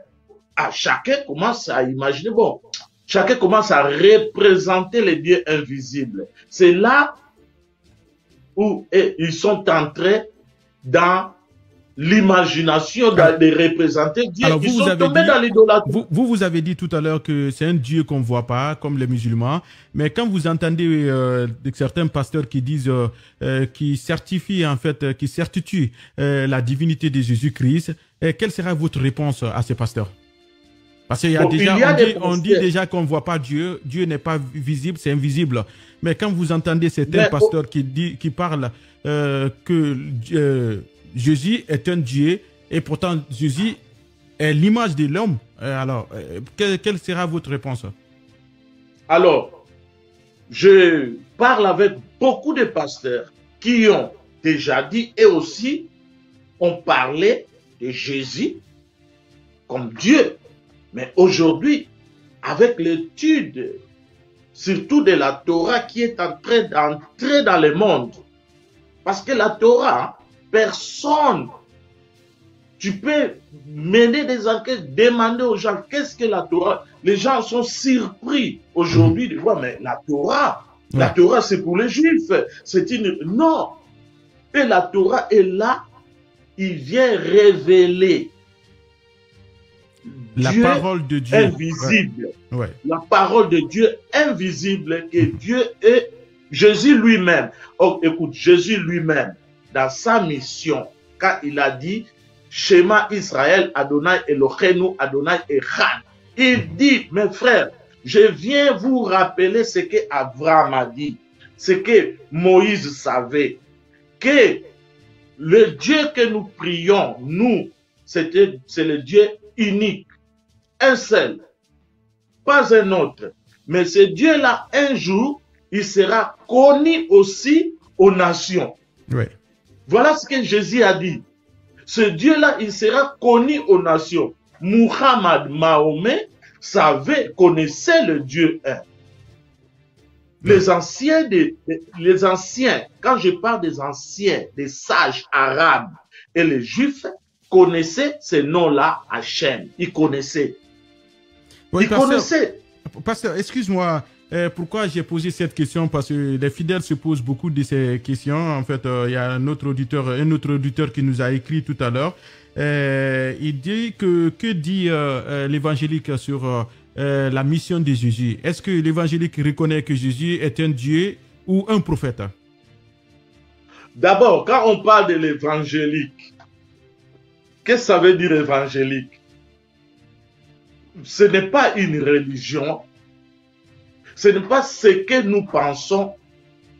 Les évangiles existait déjà dans la Torah, c'est-à-dire bonne nouvelle. Ce n'est pas que Jésus est venu apporter une, euh, ce qu'on appelle nouveau. Mais il est, qui, il est qui pour vous, euh, pasteur euh, Quelle considération vous avez de Jésus? Jésus n'est pas. Dieu, il est 100% homme. Il est 100% et quelle a été, homme. Et quelle est sa mission? Quelle a été sa mission? La mission de Jésus, c'est la mission qu'a fait Abraham, c'est la mission de Moïse, c'est la mission de, on appelle ça la chaîne de transmission. Ah, il n'y a pas prophète, de Il est prophète et alors vous voulez dire qu'il est prophète? Vous le reconnaissez Il est prophète. il y a des gens, mhm. il y a des gens quand on parle de Jésus comme prophète, les chrétiens, ils, ils, sont là à trembler, ils voient comme on est en train de baisser, d'abaisser Jésus. Mais et pourtant, c'est la vérité. Qu'est-ce qu'un prophète? Qu'est-ce qu'un prophète? En, dans, la Torah, quand on parle d'un prophète ou d'un enseignant, c'est un titre élevé honorifique. Et les chrétiens, quand on voit, on appelle Jésus, il était maître, et il, voit, mais maître, il pense que les mots rabbi que Jésus portait, maître, prophète, c'est d'abaisser Jésus. Mais va en Israël. Aujourd'hui, il n'y a plus de prophètes en Israël. Il n'y a que des maîtres. Il n'y a plus de prophètes. La, la, mission des prophètes chez les Juifs s'est arrêtée. Mm-hmm. Maintenant, Dieu a dit, chez les nations, il y aurait des prophètes. Comme de Muhammad était des prophètes. Et Jean était prophète. Jésus est un grand prophète. Un prophète, c'est qui? Un prophète, c'est pas celui qui fait des miracles, qui a des visions. Non, un prophète, c'est qui? Un prophète, c'est celui qui étudie. Voilà la signification littérale d'un prophète. C'est celui qui étudie et qui enseigne.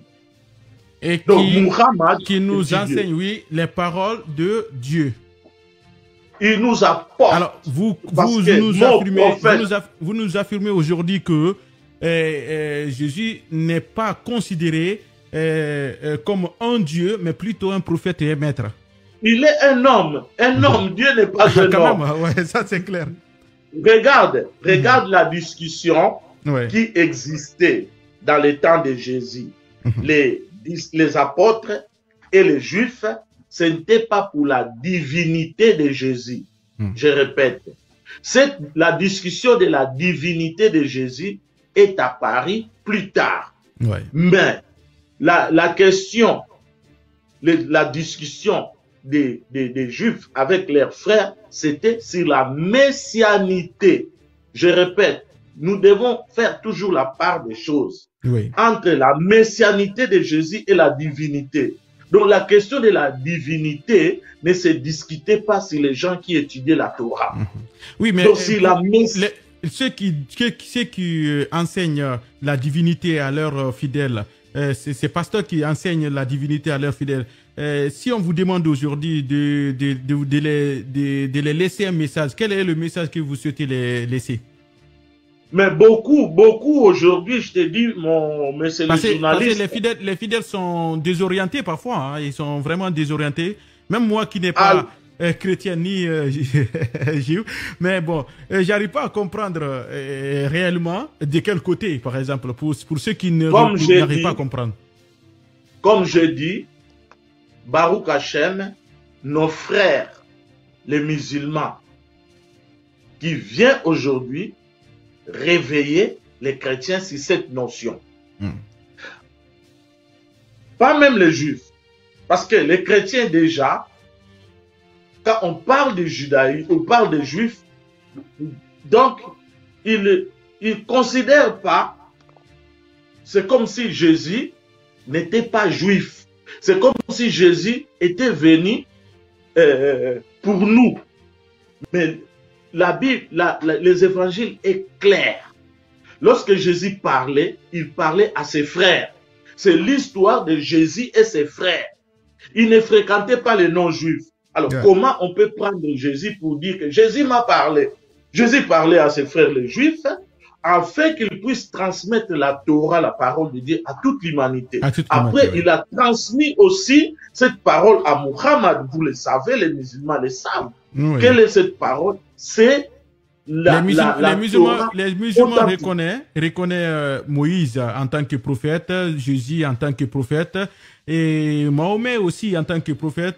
Alors, mais euh, la question que, qui, nous pose aujourd'hui, euh, euh parce qu'on n'arrivait pas, en fait, chaque pasteur veut s'exprimer de sa façon, de cette divinité. Il y en a certains même qui, qui ne croient pas à d'autres dieux que Jésus. Alors, on parle de son arrivée aussi. on, y a, on entend souvent ces pasteurs qui disent Jésus va revenir sur cette terre. Est-ce que vous, pasteur, vous affirmez cette arrivée de Jésus sur la terre? Alors, comme je dis la Torah, cette notion existe sur la messianité de Jésus. Je répète. Pas la divinité, la messianité de Jésus. La divinité, mettons-les à part. Même les enfants commencent à comprendre. Mhm. Même tous les enfants, même beaucoup de fidèles dans les églises, ils commencent à comprendre. la réalité sort. Non. Eh, les réalités, moi, j'ai beaucoup de pasteurs, on change, je dis, oui, euh, j'étudie, je, parce que euh, les gens cherchent à convaincre mhm. la divinité de Jésus. Qu'est-ce qui se passe? Comme dit mon frère euh, Aziz, il cherche à transformer la pacotille en or. parce que on, mélange tout. Donc, et puis on commence à chercher à convaincre. Non, les, Jésus, les Écritures est clair. Dieu n'est pas un homme. Et il est invisible. il est invisible. Tu ne peux pas voir Dieu. Si tu veux expliquer Dieu visible, hein, alors tu vas, tu vas te coincer toi-même. Tu n'arriveras jamais, jamais à convaincre ou à expliquer cette notion. Mhm. Alors, sur le retour de Jésus, quand on parle de Jésus, tu sais que les, les apôtres et d'autres juifs, ils sont dit, il est le Messie, c'est lui le Messie euh, que Hachem a envoyé. Et les autres disent que non, le Messie va arriver. Alors la discussion, c'était sur la résurrection. Ce n'est pas pour, euh, c'était euh, pas pour la, la, divinité. Donc Jésus était mort, ressuscité il est parti, il reviendra non en tant que Dieu, mais en tant que Mashiach, Messie. Voilà l'étude de la messianité de Jésus jusqu'à présent. Ce sont des études. Ce n'est pas que je prends euh, la Bible, je lis et mhm. puis je dis voilà. Non, en Israël jusqu'à présent, on étudie la notion de Messie. Ok. la question, la question. Même moi. Oui. La mm. question que j'aimerais vous poser, est-ce que pour vous, euh, cette parole dans la Torah s'exprime euh, comme elle a été écrite? Parce que vous entendez souvent des pasteurs. Est-ce que la mission euh, qui a été indiquée, qui a été écrite dans la Torah, est-ce que cette mission est vraiment transmise aux fidèles? Alors, qu'est-ce que la Torah? La Torah d'abord, c'est les dix paroles. Il n'y a que dix paroles que Dieu a parlé.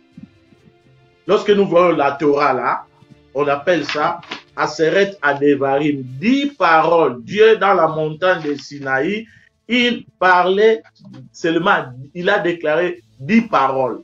Après, dans les dix paroles où Moïse a écrit euh, selon les enseignements, parce que Moïse, la, la seule personne que Dieu a enseigné, il a dit d'écrire la Torah écrite et orale, c'est Moïse. Donc, on a la Torah écrite. Pasteur, euh, euh, permettez-moi, excusez-moi de vous avoir coupé. on a notre invité qui souhaite s'exprimer dans, ce, dans cette émission. je pense que vous serez content de l'entendre. c'est Oussad Diané de la DDR qui a décidé d'intervenir dans l'émission. On va aussi l'écouter quelle est aussi cette révélation qu'il souhaite nous partager dans cette émission? Oussaz Diane, salam alaikum. Wa alaikum salam wa rahmatullahi wa barakatuh. Amtro TV, le média, et à mon bien-aimé papa et pasteur. Je le salue. Ok. Alors. Merci beaucoup, Oussaz euh, Diané. Merci euh, euh, d'avoir accepté euh, de, de, de, faire une réaction dans cette émission.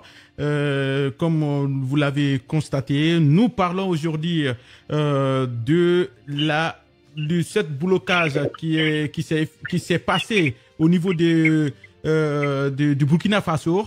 Aujourd'hui, euh, euh, les auditeurs n'arrivent pas à comprendre, mais euh, on va pas aller au-delà. Après, c'est peut-être l'investigation qui va se faire. pourquoi vous, vous avez été empêché de rentrer Mais on va vous laisser vous exprimer, Oussaz. Quelle est votre réaction que vous souhaitez nous partager dans cette émission? Oui, Alhamdulillah, Rabbil Alamin. On dit déjà louange à Allah qui est le Seigneur de l'univers. Allah fait ce qu'il veut, quand il veut, comme il veut. Étant donné que nous sommes musulmans, d'abord je salue tous les auditeurs qui sont là, les musulmans et les non-musulmans, également à Wamtro TV euh, pour l'émission. Oui, effectivement, c'est un événement actuellement, bon, tout le monde en parle, mais il n'y a, pas, a pas quelque chose de mauvais dans tout ce qu'elle a fait. Voilà, on a été invité par nos frères de la DDR, ADDR, j'allais dire, Burkina Faso, Association Dawa dans la rue Burkina Faso.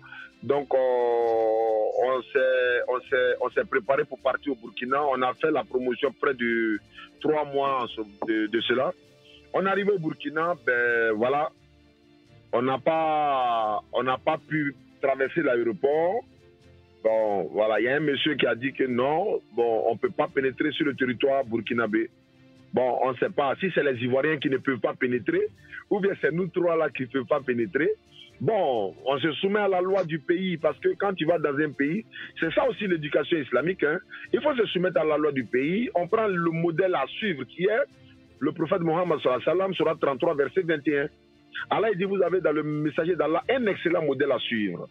Donc, on ne voulait pas qu'on rentre sur le territoire burkinabé. On s'est soumis à la loi. On s'est retourné à Abidjan. On a été soumis à des interrogations au niveau des autorités, bon voilà, il n'y avait pas grand-chose, il n'y avait rien pratiquement qu'on nous reprochait.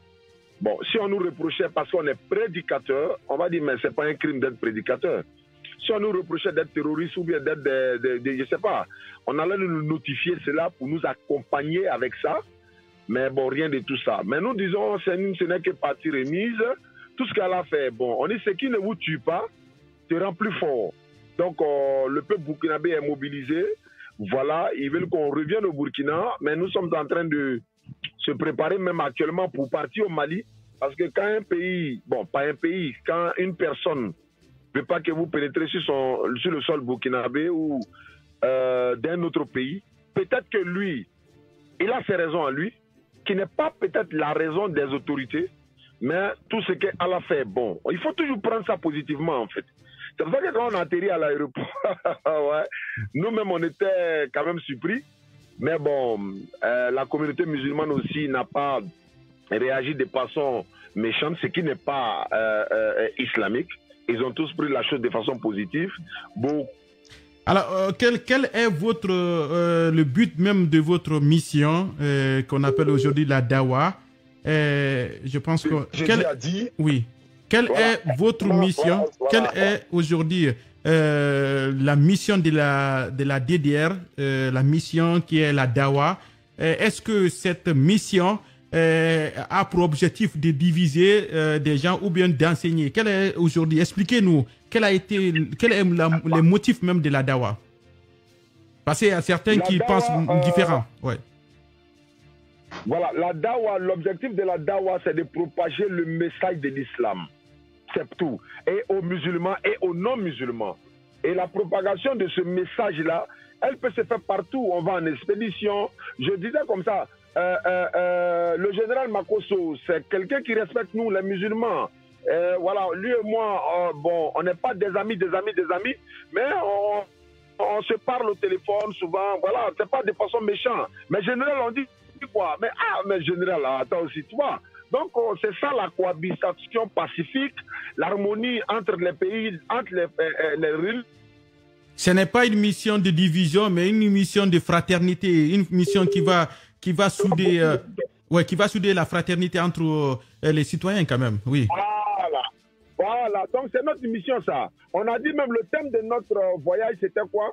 La place de la jeunesse dans l'islam. Et on avait des amis pasteurs qui étaient prêts à venir même à notre conférence, venir poser des questions sur l'islam. On allait échanger de façon pacifique et puis on se retourne au, pays, quoi. Donc on partait et c'est ce qui va se passer partout où on ira. Même c'est ce qui se passe en Côte d'Ivoire. On échange avec les chrétiens, on se, sépare fraternellement. La dawa, c'est d'aller parler de l'islam à ceux qui connaissent rien de l'islam. Et c'est notre objectif, et c'est qui reste toujours notre objectif. Et je pense qu'après euh, ce qui se passait, bon, voilà, si l'occasion se présente, on retournera au Burkina, Inch'Allah, euh, voilà, avec la joie au cœur, quoi. Alors, quelle a été votre, euh, votre émotion d'être bloqué, d'être interdit de pénétrer un pays voisin de la Côte d'Ivoire?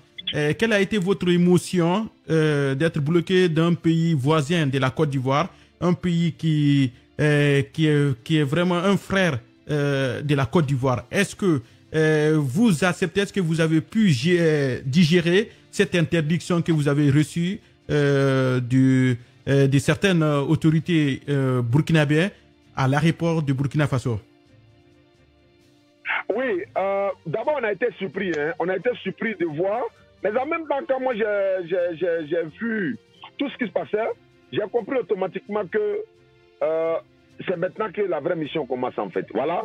Euh, il ne faut pas se décourager. On était quand même préparé mentalement. Abidjan ici, c'est pareil. De l'autre côté, mais ce qui m'a surpris, c'est qu'on est venu dans le vol Air Côte d'Ivoire. On a atterri. Il y avait beaucoup d'Ivoiriens dans le vol. Il y avait beaucoup de Burkinabés également, mais eux tous ont franchi, mais sauf nous. En fait, c'est la partie là que je n'ai pas compris. C'est pourquoi je me suis demandé, maintenant, c'est les Ivoiriens qui n'ont pas le droit de rentrer sur le territoire burkinabé ou bien c'est nous trois? Nous sommes Ivoiriens, mais les autres Ivoiriens passent là. Pourquoi nous on passe pas? Mais bon, après, bon, on s'est dit, bon, c'est Allah qui ne veut pas qu'on arrive là, on ne va pas insister. C'est ce que, euh, euh, c'est ce que, c'est ce que euh, notre pays voilà, nous a enseigné. Hein, il ne faut pas s'opposer à la loi d'un pays qui ne veut pas te recevoir. On ne s'impose pas, en fait. On ne refuse pas. Excusez-moi, il y a un peu de bruit à mon niveau. On n'a pas refusé. On s'est soumis à la loi. Mais en même temps, on a compris qu'il y a un. Il y a, il y a le libre circulation entre les pays de la CDAO. C'est-à-dire que moi, je peux me lever pour aller au Burkina, j'ai rempli tous les critères. Et je rappelle également que on avait le test de corona qui était à jour, on avait les vaccinations qui étaient à jour, les passeports sont à jour. Moi-même, c'est mon premier tampon sur mon passeport. Le premier périmé sans rien, la carte. Pareil, bon, il n'y avait pas de problème. Voilà, donc, euh, mais je pense qu'Alhamdulillah, avec euh, l'enseignement islamique, l'attitude islamique que nous avons appris à adopter chez nous, on ne doit pas s'opposer. Quand quelqu'un te dit tu ne rentres pas chez lui, c'est vrai, on pouvait insister pour comprendre, pour aller plus loin, mais nous nous sommes dit automatiquement, Allah tout ce qu'elle a fait. Bon. Et Alhamdulillah, aujourd'hui, euh, au Burkina, beaucoup, beaucoup de personnes se mobilisent encore. Ils sont en train de se remobiliser pour que nous revenions encore. Bon, peut-être que la chose serait plus grande que ce qu'on pourrait imaginer, quoi. Mais déjà, on demande pardon à toutes ces personnes qu'on a pu offenser, ou bien peut-être euh, on n'a pas su et que ça s'est fait, mais bon, on, on, met pas la terre, quoi. Voilà, c'est c'est peut-être euh, un petit incident. Euh, mais qui n'est pas trop grave dans ces... Pour quelqu'un qui est dans le domaine de la religion, euh, de la religion de la dawa, il doit comprendre automatiquement que les prophètes ont subi ça et ça va nous arriver. D'autres choses vont nous arriver encore. Il, va, il va falloir prendre ça avec l'apaisement et voilà, puisque l'islam c'est la paix. Est-ce que cette euh, la dernière question, est-ce que cette interdiction va vous ralentir dans votre mission ou est-ce que cela, cela va encore vous donner le courage de, de continuer avec euh, euh, ceux qui vous suivent, que ceux qui prennent de, de, de leçons ou de compréhension selon vos missions, vos prêches euh, qu'on appelle la dawa? Effectivement, effectivement, ça doit nous, ça doit nous mobiliser encore, ça, doit nous galvaniser encore.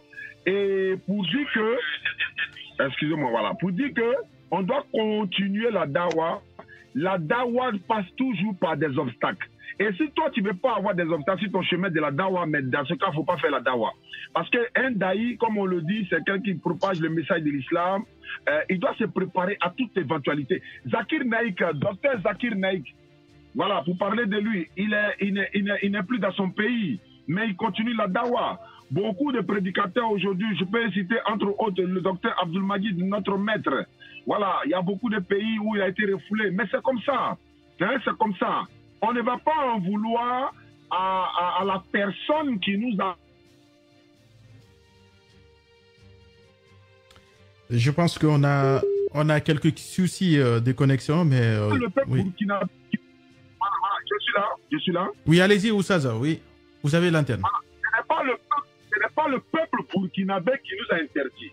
Ce n'est pas les autorités burkinabées qui nous ont interdit.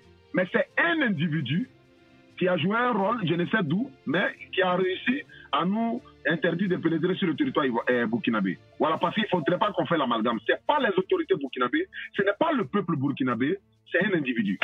Ah, ok, ok. Merci beaucoup, Oussa Diané. Euh, merci euh, d'avoir accepté d'intervenir, de faire cette réaction dans cette émission. Et pour vous écouter aujourd'hui, c'était très important parce qu'il y avait euh, les auditeurs aussi voulaient vraiment comprendre votre réaction, votre émotion aussi. Et vous avez eu à nous partager grâce à, grâce à vous aujourd'hui que les gens pourront, pourront comprendre et garder cet espoir euh, qu'ils ont à la DDR. Et quel est votre dernier message J'ai taquiné comme ça. J'ai taquiné comme ça. Voilà, j'ai taquiné comme ça les Burkinabés. J'ai dit mon petit frère, celui qui me suit directement, Mohamed Lamid Djané, et sa deuxième femme là, c'est une Burkinabé. J'ai dit bon, j'ai dit les Burkinabés, venez prendre votre fille, allez-y avec elle. Voilà. C'était juste pour les taquiner pour dire bon, il n'y a pas de problème. Hein, c'est le même pays frère. Donc, Inch'Allah, Inch'Allah, on retourne au Burkina par la grâce d'Allah. Bon, peut-être que Allah va faire que ça va être plus grand que ça. Parce que beaucoup d'hommes ne savaient pas c'est quoi la DDR.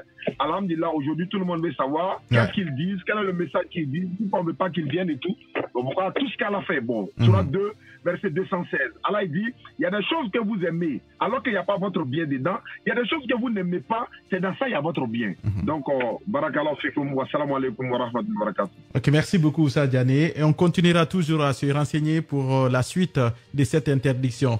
Merci beaucoup à vous. Merci beaucoup. Merci.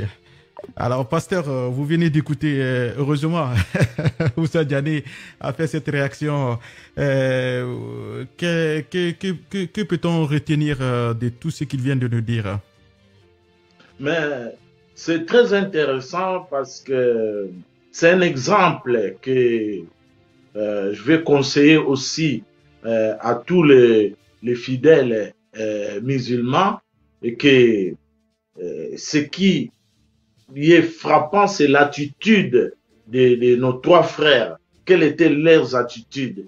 Ils étaient pas, ils n'ont pas euh, manifesté la violence, mais ils ont manifesté les attitudes qu'avaient des prophètes devant de telles situations. Ils étaient sereins, ils étaient calmes et tu, tu, tu, tu, vous allez voir qu'il a répété tout ce que moi je disais. Donc, c'est-à-dire, c'est la volonté de, de, de, de Dieu, c'est la volonté d'Allah. Donc, il est là pour remettre tout entre les mains de Dieu. Voilà. Ça, c'est euh, euh, l'attitude des fils des prophètes. Donc, c'est ça, c'est ça la, les, les, Écritures saintes. Mais ils n'ont pas manifesté, ils n'ont pas incité des gens à, à être là bon, pour euh, crier vengeance. Au contraire, dit, bon, peut-être euh, Dieu prépare quelque chose encore de, de, de, de, plus grand que ça. Voilà, c'est ça, le, c'est ça la parole. C'est ça la parole. Alors, on va, euh, on, va, on va vous poser cette dernière question. Euh, que devons-nous retenir de ces différents livres de Dieu, la Bible, le Coran et la Torah est-ce que c'est des, écritures qui, doivent nous diviser ou bien c'est des écritures qui doivent nous unir en tant que pasteur? Alors, petit à petit, nous approchons euh, vers le, dans l'accomplissement de certaines prophéties que les prophètes ont parlé à, à, à travers Abraham. Nous retournons. Ce n'est pas que nous allons nous retournons euh, euh, dans, la source, c'est-à-dire que en avançant, en étudiant surtout, nous allons comprendre une chose.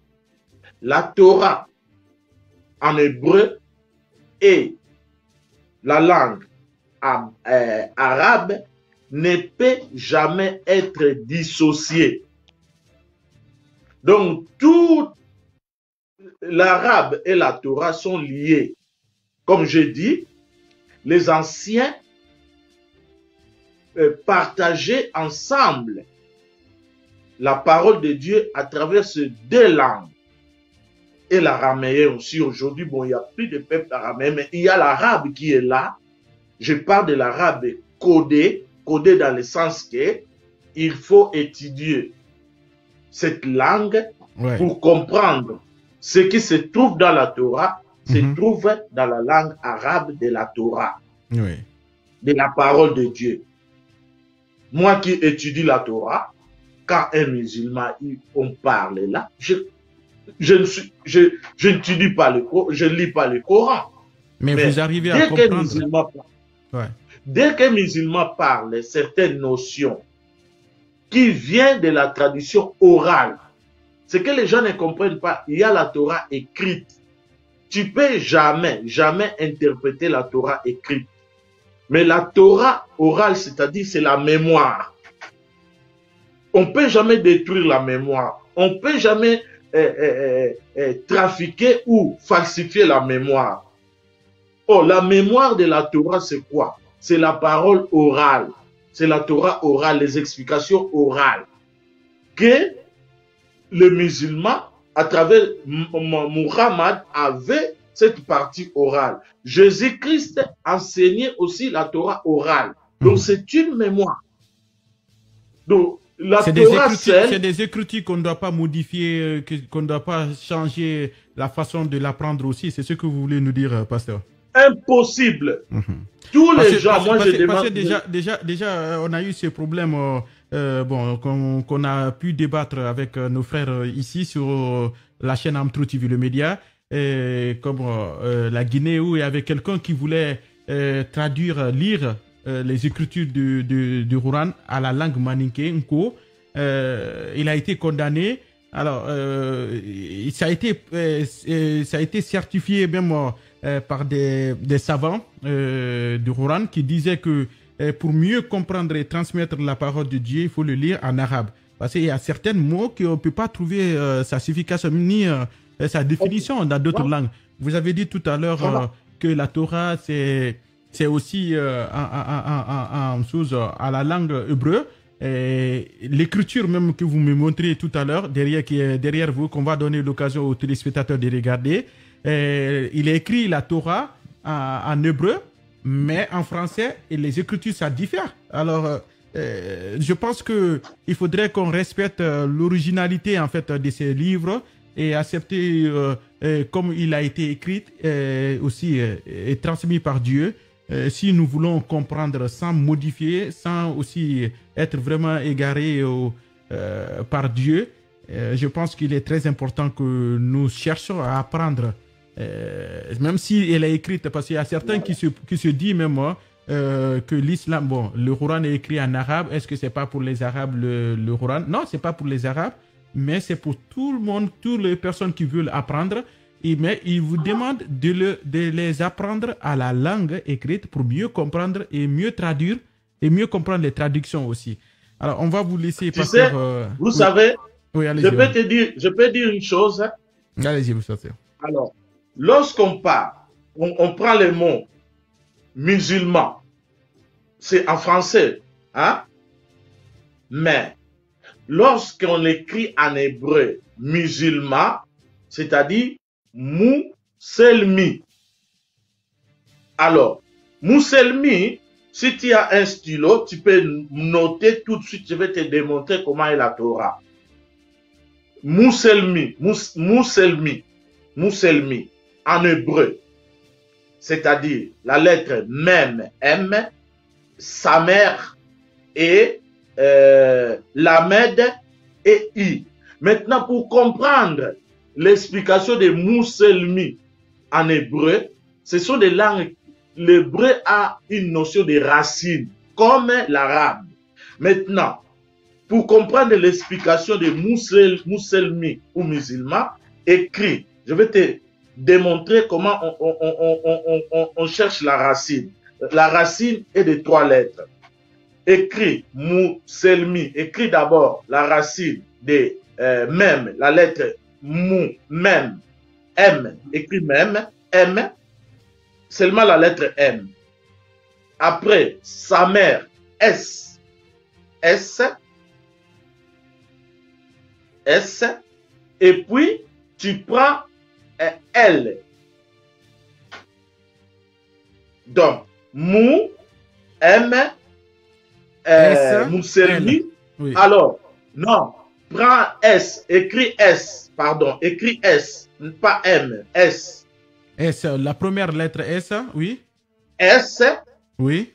Après, la deuxième lettre, Mousselmi, L, la même, L. Oui, oui. Après, à la fin, Mousselmi, M. Ok, M, oui. M. Mhm. Alors, lis-moi maintenant, mets le voyelle.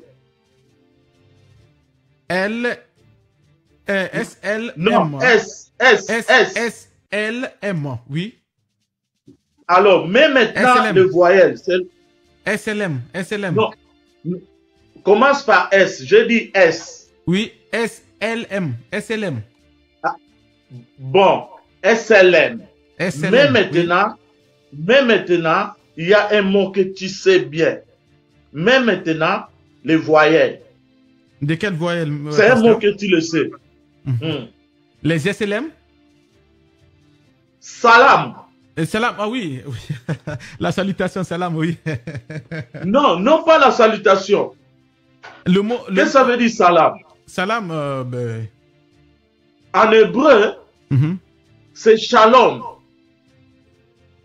Parce que le S, le samer, est inchangeable avec le shin en hébreu. Mhm.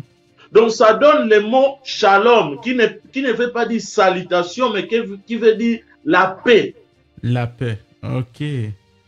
Donc quand on voit un musulman, l'autre jour, notre frère Aka disait, Abraham c'est un musulman, Jésus est un musulman. C'est à travers des lettres, les explications des lettres codées, salam qui veut dire shalom. Shalom ne veut pas dire salutation, mais ça veut dire la paix. Cette paix-là, la paix intérieure. Donc un musulman, il a la mission d'Abraham, de tous les prophètes, même de Jésus, d'apporter quoi? Les paroles de la paix. Mhm. Les chrétiens, mêmement, ils ont cette mission d'apporter les paroles de la paix. Mais ça, on le voit seulement dans l'hébreu et dans l'arabe codé. Et ce sont, ce sont que des sages qui expliquent ça. Mhm. Il y a des sages arabes qui connaissent ces choses, mais ils ne les transmettent pas comme ça. Mhm. Il faut que la personne étudie bien la langue arabe qui est biblique et qui est de la, de la, de la, de la, qu'on peut lire la parole de Dieu et l'hébreu de la, de la, de la Bible. C'est différent. Ouais, l'hébreu, ouais, ouais. Et l'hébreu là, L'hébreu, là, c'est pas ce que les pasteurs prennent dans des dictionnaires, dans des Google. Après, quelqu'un arrive avec des mots comme ça et dit, bon, voici l'hébreu. Non! Je leur conseille de ne pas faire ce genre de dégâts. On ne prêche pas l'hébreu, on ne prêche pas les paroles en arabe, mais on étudie. Voilà seulement ce que je t'ai démontré. Lorsque le monde, on parle de musulmans, quand on, voit un nom, les noms, même les musulmans, ils doivent le savoir. C'est pas seulement, bon, je suis musulman. Je suis musulman. Qu'est-ce que ça veut dire musulman? On donne une autre explication. Aux soumissions. Mais quand on parle de soumission, ça, ça veut dire quoi soumission? Dans la langue hébraïque et arabe. Soumission, ce sont des mitzvahs. Mhm. Donc, c'est-à-dire, mitzvah, une langue codée qu'on ne peut pas traduire, mais c'est connexion avec Hachem, avec Dieu, à travers des bonnes actions que nous faisons. C'est ce que j'arrive à comprendre, pasteur. Euh, je pense que pour mieux être un bon fidèle, il faut apprendre les livres. Il faut mieux bien apprendre pour ne pas voilà. faire des erreurs. Merci beaucoup, pasteur, pour cette belle précision à, nous et à nos abonnés, à tous ces fidèles qui vous suivent grâce à, à, à, ces débats que nous organisons chaque dimanche avec vous. Et nous arrivons à comprendre euh, aujourd'hui cette divergence qui existe entre l'islam et le christianisme et l'évangélique dans la Torah. Euh, merci beaucoup à vous encore euh, d'être là aujourd'hui pour cette belle témoignage euh, de fraternité que vous avez, euh, euh, d'amitié que vous avez avec la DDR, du groupe de la DDR, sur la même mission qui est aujourd'hui la transmission de la parole de Dieu et à, tous les fidèles qui nous suivent sur la chaîne panafricaine Amtro TV le média. Mais on peut pas aussi vous vous couper en fait ce direct cette émission sans euh, peut-être vous laisser un moment, un tout petit moment, euh, euh, peut-être le message que vous souhaitez laisser à vos fidèles qui vous suivent sur la chaîne. des gens qui veulent vraiment écouter apprendre quelque chose à vous. quel est le dernier message à l'humanité que vous souhaitez laisser aujourd'hui sur cette antenne, dans cette émission religieuse de la chaîne Amtrou TV, le média?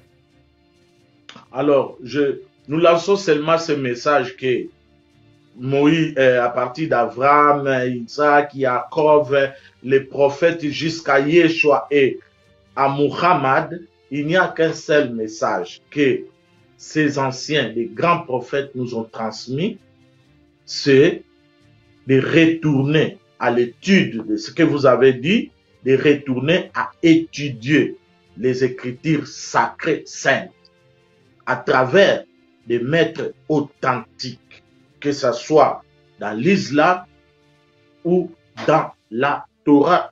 Les maîtres authentiques de la Torah, ce sont que des, maîtres d'Israël, euh, des, juifs qui ont reçu euh, cette vocation d'enseigner la parole de la Torah. Non de faire des gens des religieux, non. Chacun reste ce qu'il est. Tu musulman, reste musulman, mais commence petit à petit à étudier le, Coran aussi dans ta langue.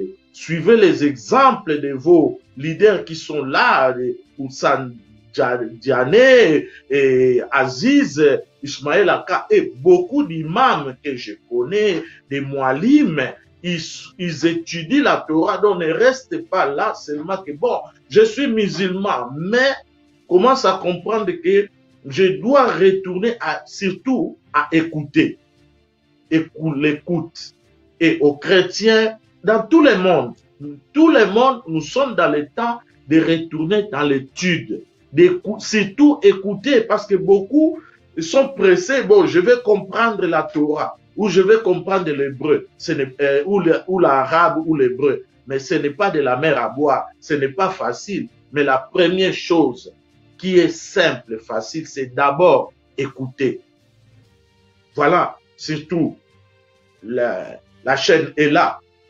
Euh, euh, Amtro TV, les médias, aujourd'hui les médias sont là pour transmettre des messages toute cette chaîne, lorsqu'on est en train de parler de la, de, de, Coran, reste là, écoute et posez des questions.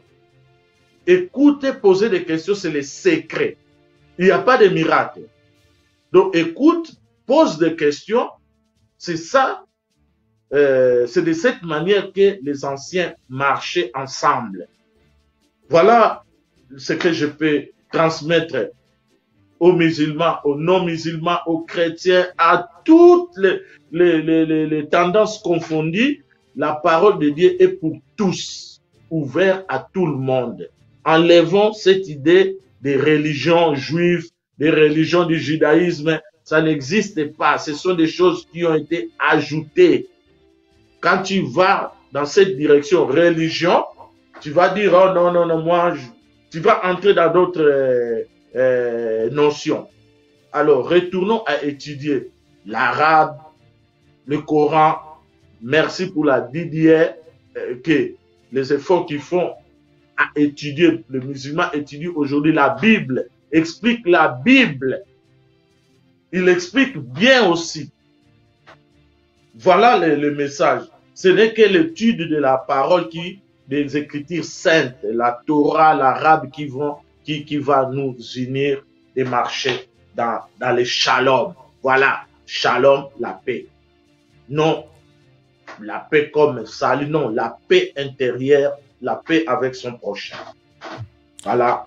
Et merci, aussi pour la, la, la, euh, euh, Amtro TV pour ce travail. Et merci hmm. à, toi, à vous aussi, messieurs les journalistes, notre frère Mohamed pour le travail que, que, que vous êtes en train de faire, qu'Hachem et bénisse et bénisse aussi toute ta famille et, et tous tes collaborateurs.